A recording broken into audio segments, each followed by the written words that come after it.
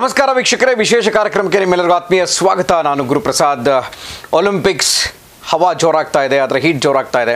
ನಿಮಗೆಲ್ಲ ಗೊತ್ತಿರೋ ಹಾಗೆ ಹಾಕಿ ಅನ್ನುವಂತಹ ಆಟ, ಭಾರತದಲ್ಲಿ ಹುಟ್ಟುಕೊಂಡಂತಹ ಆಟ, ಭಾರತದ ರಾಷ್ಟ್ರೀಯ ಕ್ರೀಡೆ.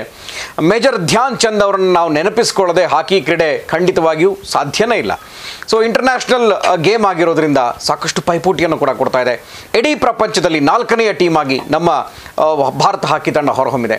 ಬಟ್ ನಮಗೆ ಪ್ರತಿ ಬಾರಿಗೂ ಕೂಡ ಎಕ್ಸ್ಪೆಕ್ಟೇಷನ್ಸ್ ಇರುತ್ತೆ. ಹಾಕಿನಲ್ಲಿ ನಾವು ಒಲಿಂಪಿಕ್ಸ್ನಲ್ಲಿ ನಾವು ಗೆಲ್ಲಬೇಕು, ಪದಕವನ್ನು, ಚಿನ್ನದ ಪದಕವನ್ನು ಗೆಲ್ಲಬೇಕು ಅನ್ನುವಂತಹ ನಮ್ಮ ಹಪಹಪಿ ಇನ್ನೂ ಕೂಡ ಜಾಸ್ತಿ ಆಗ್ತಾನೆ ಇದೆ. ಜೊತೆಗೆ ಈ ಒಂದು ಪೈಪೋಟಿ ಯುಗದಲ್ಲಿ, ಕೊರೋನಾ ಯುಗದಲ್ಲಿ ಟೋಕಿಯೋದಲ್ಲಿ ನಡೀತಾ ಇರುವಂಥ ಒಲಿಂಪಿಕ್ಸ್ ಬಗ್ಗೆನೂ ಕೂಡ ಸಾಕಷ್ಟು ಕುತೂಹಲ ಇದೆ.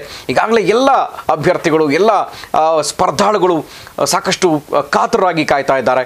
ಸೊ ಈ ಬಾರಿಯ ಒಲಿಂಪಿಕ್ಸ್ನಲ್ಲಿ ಯಾವ ರೀತಿಯಾಗಿ ನಾವು ಭಾಗವಹಿಸ್ತೀವಿ ಅನ್ನುವಂಥ ಕುತೂಹಲ ಎಲ್ರಿಗೂ ಇದೆ. ಎಸ್ ನಮಗೆ ವಿಶೇಷವಾಗಿ ನಮಗೆ ಕರ್ನಾಟಕದಲ್ಲಿ ಹಾಕಿ ಅಂದ ತಕ್ಷಣ ನಮಗೆ ನೆನಪಾಗುವಂತಹ ಒಂದು ಪ್ರತಿಭೆ ಖಂಡಿತ ನಾವು ಮರೆಯೋದಕ್ಕೆ ಸಾಧ್ಯ ಇಲ್ಲ. ಆ ಪ್ರತಿಭೆ ಇವತ್ತು ನಮ್ಮ ಅಮೋಘ ಸ್ಟುಡಿಯೋದಲ್ಲಿದ್ದಾರೆ. ಅವರ ಬಗ್ಗೆ ಪರಿಚಯ ಮಾಡ್ಕೊಳ್ತೀನಿ ಅವ್ರ ಜೊತೆ ಮಾತನಾಡ್ತೀನಿ, ಆದರೆ ಅದಕ್ಕೂ ಮುನ್ನ ಅವರ ಬಗ್ಗೆನೇ ಒಂದು ವರದಿ ಇದೆ. ನೋಡ್ಕೊಂಡು ಬನ್ನಿ. ಭಾರತದ ಹಾಕಿ ಲೋಕ ಕಂಡ ಶ್ರೇಷ್ಠ ಆಟಗಾರರಲ್ಲಿ ಕರ್ನಾಟಕದ ವಿ ಆರ್ ರಘುನಾಥ್ ಕೂಡ ಒಬ್ರು. ಕೊಡಗಿನ ರಘುನಾಥ್, ಒಲಿಂಪಿಕ್ಸ್ ಸೇರಿದಂತೆ ಹಲವು ಮಹತ್ವದ ಕೂಟಗಳಲ್ಲಿ ಭಾರತದ ಪರ ಕಣಕ್ಕಿಳಿದು ಕರುನಾಡಿನ ಕೀರ್ತಿ ಬೆಳಗಿದ್ದಾರೆ.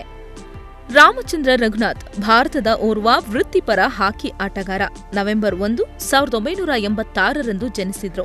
ಬಿಎಸ್ ರಾಮಚಂದ್ರ ಮತ್ತು ದೊಡ್ಡಮನೆ ಬೋಜಮ್ಮ ದಂಪತಿಯ ಪುತ್ರ. ರಘುಗೆ ಇಬ್ಬರು ಸಹೋದರಿಯರು ಇದ್ದಾರೆ.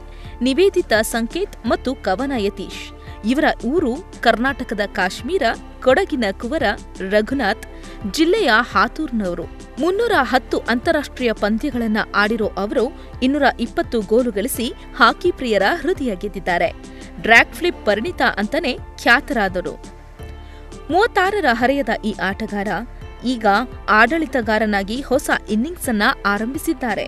ಹಾಕಿ ಕರ್ನಾಟಕದ ಉಪಾಧ್ಯಕ್ಷರಾಗಿರೋ ಅವರು ರಾಜ್ಯದ ಹಾಕಿ ಕ್ರೀಡೆ ಸೇರಿದಂತೆ ಅನೇಕ ಕ್ರೀಡಾ ಚಟುವಟಿಕೆಗಳ ಸ್ಫೂರ್ತಿಯ ಚಿಲುಮೆಯಾಗಿದ್ದಾರೆ ಅಂದ್ರೆ ತಪ್ಪಾಗಲಾರದು. ಇವರು ಎರಡ್ ಸಾವಿರದ ಹದಿನೈದರಲ್ಲಿ ರಾಯಪುರದಲ್ಲಿ ಕಂಚಿನ ಪದಕ, ಎರಡ್ ಸಾವಿರದ ಹದಿನಾಲ್ಕರಲ್ಲಿ ಗ್ಲೋಸ್ಗೋ ಕಾಮನ್ವೆಲ್ತ್ ಆಟದಲ್ಲಿ ಬೆಳ್ಳಿ ಪದಕ, ಎರಡ್ ಸಾವಿರದ ಹದಿಮೂರರಲ್ಲಿ ಇಪೋಹದಲ್ಲಿ ಬೆಳ್ಳಿ ಪದಕವನ್ನ ತಮ್ಮದಾಗಿಸಿಕೊಂಡಿದ್ದಾರೆ. ಎರಡ್ ಸಾವಿರದ ಹದಿನಾಲ್ಕರಲ್ಲಿ ಚಿನ್ನದ ಪದಕಕ್ಕೆ ಮುತ್ತಿಟ್ಟಿದ್ದಾರೆ ಇವರು. ಬಾಂಗ್ಲಾದೇಶದ ಢಾಕಾದಲ್ಲಿ ಎರಡ್ ಸಾವಿರದ ಮೂರರಲ್ಲಿ ನಡೆದ ಸಬ್ ಜೂನಿಯರ್ ಏಷ್ಯಾ ಕಪ್ನಲ್ಲಿ ಭಾರತದಿಂದ ಭಾಗವಹಿಸಿದ್ರು. ಆಕಸ್ಮಿಕವಾಗಿ ಗಾಯಗೊಂಡ ಸಂದೀಪ್ ಸಿಂಗ್ ಬದಲಾಗಿ ಪಾಕಿಸ್ತಾನದ ವಿರುದ್ಧ ಎರಡ್ ಸಾವಿರದ ಐದರಲ್ಲಿ ಎರಡೂ ಸರಣಿಯಲ್ಲಿ ರಾಷ್ಟ್ರೀಯ ತಂಡಕ್ಕೆ ಆಡಿದ್ದಾರೆ. ಭಾರತ ತಂಡ ಎರಡ್ ಸಾವಿರದ ಏಳು ಹಾಗೂ ಎಂಟರಲ್ಲಿ ಸುಲ್ತಾನ್ ಅಜ್ಲಾನ್ ಶಾ ಕಪ್ ಗೆದ್ದ ಭಾರತ ತಂಡದ ಒಂದು ಭಾಗವಾಗಿದ್ರು. ಅವರು ಎರಡ್ ಸಾವಿರದ ಏಳರ ಏಷ್ಯಾ ಕಪ್ನಲ್ಲಿ ಚಿನ್ನ ಮತ್ತು ಬೆಳ್ಳಿ ಪದಕ ತಮ್ಮದಾಗಿಸಿಕೊಂಡಿದ್ದಾರೆ. ಎರಡ್ ಸಾವಿರದ ಹದಿಮೂರರಲ್ಲಿ ಸತತ ಆರು ಗೋಲುಗಳನ್ನು ಬಾರಿಸಿದ ರಘುನಾಥ್ ಟೂರ್ನಮೆಂಟಿನ ಅತ್ಯುತ್ತಮ ಆಟಗಾರ ಅನ್ನುವ ಕೀರ್ತಿಗೆ ಭಾಜನರಾಗಿದ್ದಾರೆ. ಇವತ್ತಿನ ಮಾತು ಮಂಥನ ವಿಶೇಷ ಕಾರ್ಯಕ್ರಮದ ಅತಿಥಿ ವಿಆರ್ ರಘುನಾಥ್. ಎಸ್ ವರದಿಯನ್ನು ನೋಡಿದ್ರಿ, ಅವರೇ ನಮ್ಮ ವಿ ಆರ್ ರಘುನಾಥ್. ಕೊಡಗಿನ ಕುವರ ಜೊತೆಗೆ ಹಾಕಿ ಮಾಂತ್ರಿಕನ ಮರಿ ಮಾಂತ್ರಿಕ ಅಂತ ಹೇಳ್ಬೋದು ರಘುನಾಥ್ ಅವರೇ ನಮಸ್ಕಾರ. ಕಾರ್ಯಕ್ರಮಕ್ಕೆ ಸ್ವಾಗತ ನಿಮಗೆ. ನಮಸ್ಕಾರ. ಎಸ್ ಹಾಕಿ ಅಂದ ತಕ್ಷಣ ಒಂದು ರೀತಿಯ ಆ ಒಂದು ಪ್ರಭೆ ಒಂದು ರಾಷ್ಟ್ರೀಯ ಕ್ರೀಡೆಯ ಪ್ರಭೆ ಭಾರತಕ್ಕೆ ಭಾರತೀಯರೆಲ್ಲರಿಗೂ ಕೂಡ ರೋಮಾಂಚನ. ತಾವು ಹಾಕಿ ಆಟಗಾರರು ಸಾಕಷ್ಟು ಸಾಧನೆ ಮಾಡಿದ್ದೀರಿ ಅರ್ಜುನ ಪ್ರಶಸ್ತಿಯನ್ನು ಪಡ್ಕೊಂಡಿರುವಂಥವ್ರು. ಮತ್ತು ಇಲ್ಲಿ ಹಾಕಿ ಅಂದ ತಕ್ಷಣ ನಮಗೆ ನಾನು ಆಗಲೇ ಹೇಳಿದಾಗೆ ಅದೊಂಥರ ಪರಂಪರೆ ನಮ್ಮ ಭಾರತೀಯರಿಗೆ. ಸೊ ಮೊದಲನೇದಾಗಿ ನೀವು ಹಾಕಿ ಕ್ರೀಡೆಗೆ ಉತ್ಸುಕರಾಗಿದ್ದು ಬಂದಿದ್ದು ಯಾಕೆ ಅಥವಾ ನಿಮ್ಮ ಆಕರ್ಷಣೆ ಮಾಡಿದ್ದು ಯಾಕೆ ಅಂತ ಈ ಒಂದು ಕ್ರೀಡೆಗೆ? ಆ್ಯಕ್ಚುಲಿ ನಾನು ಎಂಥ ಜಿಲ್ಲೆಯಿಂದ ಬರ್ತೀನಿ ಕೊಡಗು ಜಿಲ್ಲೆ. ಯಾವತ್ತೂ army hockey football sports sports and ಆರ್ಮಿಗೆ ತುಂಬಾನೇ ಹೆಸರು ಮಾಡಿತ್ತು. ಸೊ ಮತ್ತೆ ನಮ್ಮ ಸ್ಕೂಲಲ್ಲಿ ಡೈಲಿ ಆಕ್ಟಿವಿಟೀಸ್ ಅಲ್ಲಿ. ಸೊ ಲಾಟ್ಸ್ ಆಫ್ ಏನು ಸ್ಪೋರ್ಟ್ಸು ಮತ್ತೆ ಗೇಮ್ಸಿಗೆ ತುಂಬಾನೇ ಪುಷ್ ಮಾಡ್ತಿದ್ರು. ನನ್ನ ಬ್ಲಡ್ ಅಲ್ಲಿ ನಮ್ಮ ತಂದೆ ಹಾಕಿ ಕೋಚ್ ಆದ ಕಾರಣ. ಸೊ ನಾನು ತುಂಬಾನೇ ಮುಂಚೆ ತಗೊಂಡಿದ್ದೆ. ಪ್ಲಸ್ ನಾನು ಮುಂಚೆ ಬಾಸ್ಕೆಟ್ ಬಾಲು ಆಡ್ತಿದ್ದೆ ಹಾಕಿನೂ ಆಡ್ತಿದ್ದೆ. ಯಾವಾಗ ನಾನು ಒಂದು ಹನ್ನೆರಡು ಹದಿಮೂರು ವರ್ಷ ಬಂದಾಗ ಯಾವ್ದಾದ್ರು ಒಂದು ಗೇಮ್ ಚೂಸ್ ಮಾಡಬೇಕು ಅಂತ ಅಂದಾಗ ನಾನು ಹಾಕಿ ಚೂಸ್ ಮಾಡಿದವನು. ಅದ್ರ ಮೇಲೆ ಕಾನ್ಸಂಟ್ರೇಟ್ ಮಾಡಿ ನಾನು sports authority of India sports ಹಾಸ್ಟೆಲ್ಗೆ select ಆಗಿ ಕೊಡಗಿಂದ ಓದೋನು ನಾನು. ಸೊ ಅಲ್ಲಿಂದ ಹಾಸ್ಟೆಲ್ನಿಂದ ಬೆಳೆದಂತ ಪ್ರತಿಭೆ ನಾನು ಫುಲ್ ಸ್ಪೋರ್ಟ್ಸ್ ಹಾಸ್ಟೆಲ್ ಏಳನೇ ಆಗಿ. ಕ್ಲಾಸ್ ಇಂದ ನನ್ನ seventh standard full sports hostel ಇಂದ ಬೆಳೆದವ್ ಬೆಳೆದವನು ನಾನು. ಸೊ ಅಲ್ಲಿಂದ ನನಗೆ ನಿಜವಾಗಿ ಗೊತ್ತಿರಲಿಲ್ಲ. ನಾನು ಹೋಗ್ತೀನಿ ನಾನು ಮೇಲೆ ಹೋಗ್ತೀನಿ ಅಂತ. ಸೊ ಒಂದೆರಡು ವರ್ಷ ಗೊತ್ತ ಒಂದೆರಡು ವರ್ಷ ನಾವು ನಮ್ಮ ಟ್ರೈನಿಂಗ್ ಅಲ್ಲಿ ಪಳಗದ ಮೇಲೆ ಸೊ ನನಗೊಂದು ಆಪರ್ಚುನಿಟಿ ಅಂತ ಗೊತ್ತಾಗುತ್ತೆ ಒಂದು ಪ್ಲೇಯರ್ಗೆ. ಸೆವೆಂಟಿ ಪರ್ಸೆಂಟ್ ಏಯ್ಟಿ ಪರ್ಸೆಂಟ್ ಹೋಗ್ತಾನ ಅಂತ ಸೊ ಒಂದು ಚಾನ್ಸ್ ತಗೊಳ್ಳೋಣ ಅಂತ. ಸೊ ನಾನು ಏಯ್ತ್ ನೈನ್ತಲ್ಲಿ ಫುಲ್ ಪ್ರೊಫೆಷನಲ್ ಆಗಿಬಿಟ್ಟೆ ಪ್ರೊಫೆಷನಲ್ ಆಗೇ ತಗೋಬಿಟ್ಟೆ ಫುಲ್ ಹಾಕಿ ಹಾಕಿನ ನೀವು ನಿಮಗೆ ಕೋಚ್ ಅನ್ನುವಂಥದ್ದು ಜೊತೆಗೆ ನೀವು ಕೋಚಿಂಗ್ ತೆಗೆದುಕೊಂಡಿದ್ದು ಜೊತೆಗೆ ನೀವು ರಿಯೋ ಒಲಿಂಪಿಕ್ಸ್ನಲ್ಲಿ ಆಡಿದ್ದೀರಾ? ಅದು ದೊಡ್ಡ ಹೆಮ್ಮೆ ಭಾರತಕ್ಕೆ. ಆಮೇಲೆ ಹಾಕಿ ತಂಡವನ್ನು ಕೂಡ ಪ್ರತಿನಿಧಿಸಿದ್ದೀರಿ. ಎರಡು ಬಾರಿ ಅಂದರೆ ಒಲಿಂಪಿಕ್ಸ್ನಲ್ಲಿ ಇರುವಂಥದ್ದು. ಜೊತೆಗೆ ಇತ್ತೀಚಿನ ದಿನಗಳಲ್ಲಿಯೂ ಕೂಡ ನಾವು ಅಂದರೆ ಫಿಟ್ನೆಸ್ಸು ಇದೆಲ್ಲ ನೋಡಿಕೊಂಡ್ರೆ ಹಾಕಿಗೆ ತುಂಬ, ಯಾಕೆಂದರೆ ರನ್ನಿಂಗ್ ಇರಬೇಕು, ಅಷ್ಟೇ ಚಾಣಾಕ್ಷತನ ಇರಬೇಕು ಐಸ್ ಪ್ಯಾನಿಂಗ್ ಇರಬೇಕು, ಇದೆಲ್ಲವನ್ನು ನೋಡ್ತಾ ಇದ್ದಾಗ ಸೊ ನೀವು ಕಲಿತಂತಹ ಬಗೆ ಹೇಗಿತ್ತು? ಸೊ ಇತ್ತೀಚಿನ ದಿನಗಳಲ್ಲಿ ಆ ಒಂದು ಕೋಚಿಂಗ್ ಯಾವ ರೀತಿ ನಡೀತಾ ಇದೆ ಅಂತ? ಆ ಕೋಚಿಂಗ್ ಆ್ಯಕ್ಚುಲಿ ನಾವು ಏನು ಟೆಕ್ನಾಲಜಿ ಹತ್ತು ವರ್ಷ ಹಿಂದೆ ಇದ್ದು ಅದೆಲ್ಲ ಇವಾಗ ಚೇಂಜ್ ಆಗೋಗಿದೆ. ಪ್ರೆಸೆಂಟ್ ಇಂಡಿಯನ್ ಸ್ಪೋರ್ಟ್ಸ್ ಸಿನಾರಿಯೋದಲ್ಲಿ ಏನಿದೆ ಇವಾಗ. ಕಂಪ್ಲೀಟ್ ಚೇಂಜ್ ಇದೆ.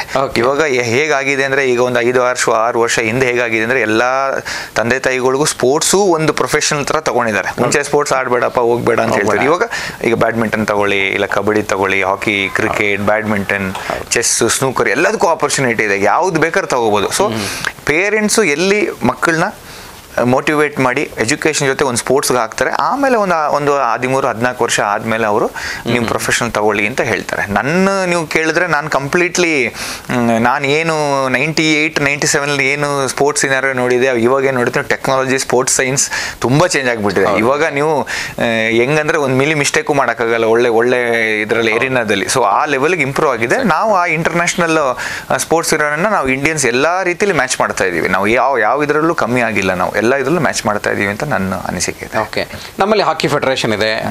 ಆಮೇಲೆ ಕ್ರೀಡಾಭಿವೃದ್ಧಿ ಪ್ರಾಧಿಕಾರ ಇದೆ. ಕರ್ನಾಟಕದಲ್ಲಿ ಇಲಾಖೆ ಕೂಡ ಇದೆ. ಸೊ ಹಾಕಿ ಅಭಿವೃದ್ಧಿಗೆ ಕರ್ನಾಟಕದಲ್ಲಿ ನಿಮ್ಮ ಕೊಡುಗೆ ಜೊತೆಗೆ ಕರ್ನಾಟಕ ಸರ್ಕಾರದ ಕೊಡುಗೆ ಏನಿದೆ ಅಂದರೆ ಎರಡೂ ಮಿಳಿತವಾದರೆ ಒಳ್ಳೆ ಪ್ರತಿಭೆನ ಆಯ್ಕೆ ಮಾಡೋದಕ್ಕೆ ಸಾಧ್ಯ. ಸೊ ಏನು ಯೋಜನೆಗಳಿದ್ದಾವೆ ಅದಕ್ಕೆ ಯೋಜನೆ ಅಂದರೆ ನಮ್ಮದರಲ್ಲಿ ಸ್ಪೆಷಲಿ ಹೇಳ್ಬೇಕಂದ್ರೆ ಸ್ಪೋರ್ಟ್ಸ್ ಹಾಸ್ಟೆಲ್ಗಳು ಅಂತ ನಮ್ಮ ಹದಿಮೂರು ಹಾಸ್ಟೆಲ್ಗಳಿದೆ ಎಲ್ಲರಿಗೆ ತುಂಬ ತಂದೆ ತಾಯಿಗಳು ಕರ್ನಾಟಕ. ಎಂಟೈರ್ ಕರ್ನಾಟಕ ಇದೆ.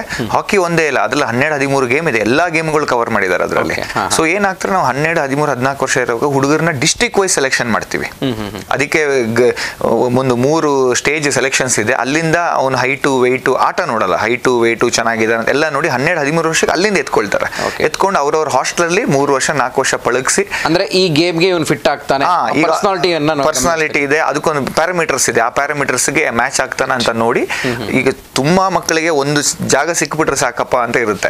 ಸೊ ನಾವೇನ್ ಮಾಡ್ತೀವಿ? ಹನ್ನೆರಡು ಹದಿಮೂರು ವರ್ಷ ಮಕ್ಕಳು ತಗೊಂಡಾಗ ಅವ್ರು ಸೆಲೆಕ್ಟ್ ಆದಾಗ ಅವ್ರು ಕಂಪ್ಲೀಟ್ಲಿ ಫ್ರೀ ಆಗಿ ಹೋಗುತ್ತೆ. ಎಜುಕೇಶನ್ ಅವ್ರಿಗೆ ಸ್ಟೇಯಿಂಗು ಅವ್ರಿಗೆ ಫುಡ್ಡು ಎಲ್ಲ ಫ್ರೀ ಆಗಿ ಎಲ್ಲ ಗೌರ್ಮೆಂಟ್ ನೋಡ್ಕೊಳ್ಳೋದು ಏನು ತೊಂದರೆ ಇಲ್ಲ. ಜಸ್ಟ್ ಅವ್ರ ಕೆಲಸ ಆಡೋದು ಓದೋದು ಅಷ್ಟೇ ಇರುತ್ತೆ. ಪ್ರೊಫೆಷನಲ್ ಆಗಿ ತಗೋಬೇಕಷ್ಟೇ.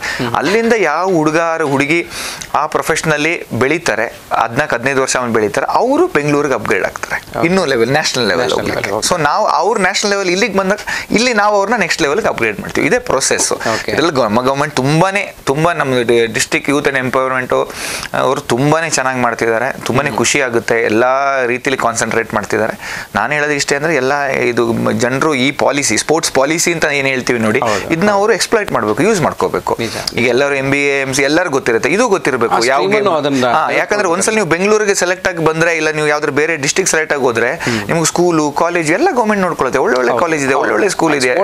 ಇರುತ್ತೆ. ಹಾ, ಇದೇ ಇರುತ್ತೆ. ಅದನ್ನ ಎಕ್ಸ್ಪ್ಲೈನ್ ಮಾಡ್ಕೊಂಡು ಎಜುಕೇಶನ್ ಜೊತೆ ಸ್ಪೋರ್ಟ್ಸ್ ಅವ್ರು ಇಂಟರ್ನ್ಯಾಷನಲ್ ಲೆವೆಲ್ ಅಚೀವ್ ಮಾಡಕ್ ಟ್ರೈ ಮಾಡಬೇಕು. ಏನಾಗುತ್ತೆ ಆ ಪ್ರೋಸೆಸ್ ಅಲ್ಲಿ ತುಂಬಾನೇ ಕಲಿಸುತ್ತೆ ನಿಮಗೆ. ಪ್ರತಿಯೊಬ್ಬರಿಗೂ ಒಂದು ಮೋಟೋ ಅಥವಾ ಒಂದು ಅಲ್ಟಿಮೇಟ್ ಏಮ್ ಏನಪ್ಪ ಅಂತಂದರೆ ನಾನು ಹೇಗಾದರೂ ಮಾಡಿ ನಾನು ನ್ಯಾಷನಲ್ ಟೀಮ್ಗೆ ಸೆಲೆಕ್ಟ್ ಆಗಬೇಕು ಅನ್ನೋದು ಅಂದರೆ ಕರ್ನಾಟಕದ ಪ್ರತಿಭೆಗಳಿಗೂ ಸಾಕಷ್ಟು ಅದರ ಅವಕಾಶ ಇದೆಯಾ ಈಗ ಸದ್ಯಕ್ಕೆ ಹೇಗೆ ಅಂತ? ಇಲ್ಲ ಅವಕಾಶ ಇದೆ ತುಂಬಾ ಅವಕಾಶ ಇದೆ. ಈಗ ನಾನೇ ಹೇಳ್ತೇನೆ ನಾನು ಒಂದು ಇದರಿಂದ ಕೊಡಗಿಂದ ಬಂದು ಕೊಡಗಿಂದ ಬೆಂಗಳೂರು ಬಂದು ಬೆಂಗಳೂರಿಂದ ಎರಡೆರಡು ಒಲಿಂಪಿಕ್ಸ್ ಆಡ್ತೀನಿ ಅಂದ್ರೆ ನಮಗೆ ಹಂಡ್ರೆಡ್ ಪರ್ಸೆಂಟ್ ನಮಗೆ ಆಪರ್ಚುನಿಟಿ ಇದೆ. ಏನಂದ್ರೆ ಇವಾಗ ಏನಾಗೋಗಿದೆ ರೇಸ್ ರೇಸಲ್ಲೇ ಇರ್ತೀವಿ ಎಲ್ಲ ಅಲ್ಲ. ರೇಸಲ್ಲೇ ಇರಬೇಕು ನಾವು. ಒಂದು ಪ್ಲೇಯರ್ ಈಗ ಒಂದು ಪ್ಲೇಯರ್ ಈಗ Olympics level national level achieve ಮಾಡ್ಬೇಕಂದ್ರೆ ನಮ್ಮ ಕಂಟ್ರಿ ಎಷ್ಟು ದೊಡ್ಡದು? ಅದ್ರಲ್ಲಿ ಹದಿನೆಂಟು ಹುಡುಗರು ಇಪ್ಪತ್ತು ಹುಡುಗರು ಸೆಲೆಕ್ಟ್ ಆಗೋದು ತುಂಬಾ ಕಷ್ಟ ಇದೆ. ಸೊ ಆ ರೇಸಲ್ಲಿ ನೀವು ಎಷ್ಟು ನಿಮ್ಮ ಕಾನ್ಸಂಟ್ರೇಷನ್ ಲೆವೆಲು ನಿಮ್ಮ ಮೈಂಡ್ ಸೆಟ್ಟು ನಿಮ್ಮ ಇನ್ ಟೈಮ್ ಇನ್ವೆಸ್ಟ್ಮೆಂಟ್ ಎಷ್ಟು ಇರ್ತೀರ ರೇಸಲ್ಲಿ ಇರ್ತೀರಾ. ಯಾವಾಗ ನೀವು ಆರು ತಿಂಗಳು ಕೆಳಗೆ ಬರ್ತೀರಾ ಇನ್ನೊಬ್ಬ ಬಂದು ನಿಮ್ಮ position ತಗೊಳ್ತಾನೆ. It's very common common scenario ನಮ್ಮ ಸೊಸೈಟಿಲಿ. ಸೊ ನಾನು ಹೇಳೋದು ಒಂದು ಪ್ಲೇಯರಿಗೆ ಹತ್ತು ವರ್ಷ ಇರುತ್ತೆ ಹನ್ನೆರಡು ವರ್ಷ ಇರುತ್ತೆ ಮ್ಯಾಕ್ಸಿಮಮ್. ಹಾಂ ಸ್ಪ್ಯಾನ್ ಆ ಸ್ಪ್ಯಾನ್ನ ಮ್ಯಾಕ್ಸಿಮಮ್ ಯೂಸ್ ಮಾಡಬೇಕು. ಎಷ್ಟಾಗುತ್ತೆ ಅಷ್ಟು ಯೂಸ್ ಮಾಡ್ಕೋಬೇಕು ಎಷ್ಟು ಅಪ್ಗ್ರೇಡ್ ಆಗೋಕ್ಕಾಗುತ್ತೆ ಅಷ್ಟು ಅಪ್ಗ್ರೇಡ್ ಆಗಬೇಕು ಸ್ಪೋರ್ಟ್ಸಲ್ಲಿ ಆಪರ್ಚುನಿಟಿ ಸಿಕ್ತಾ?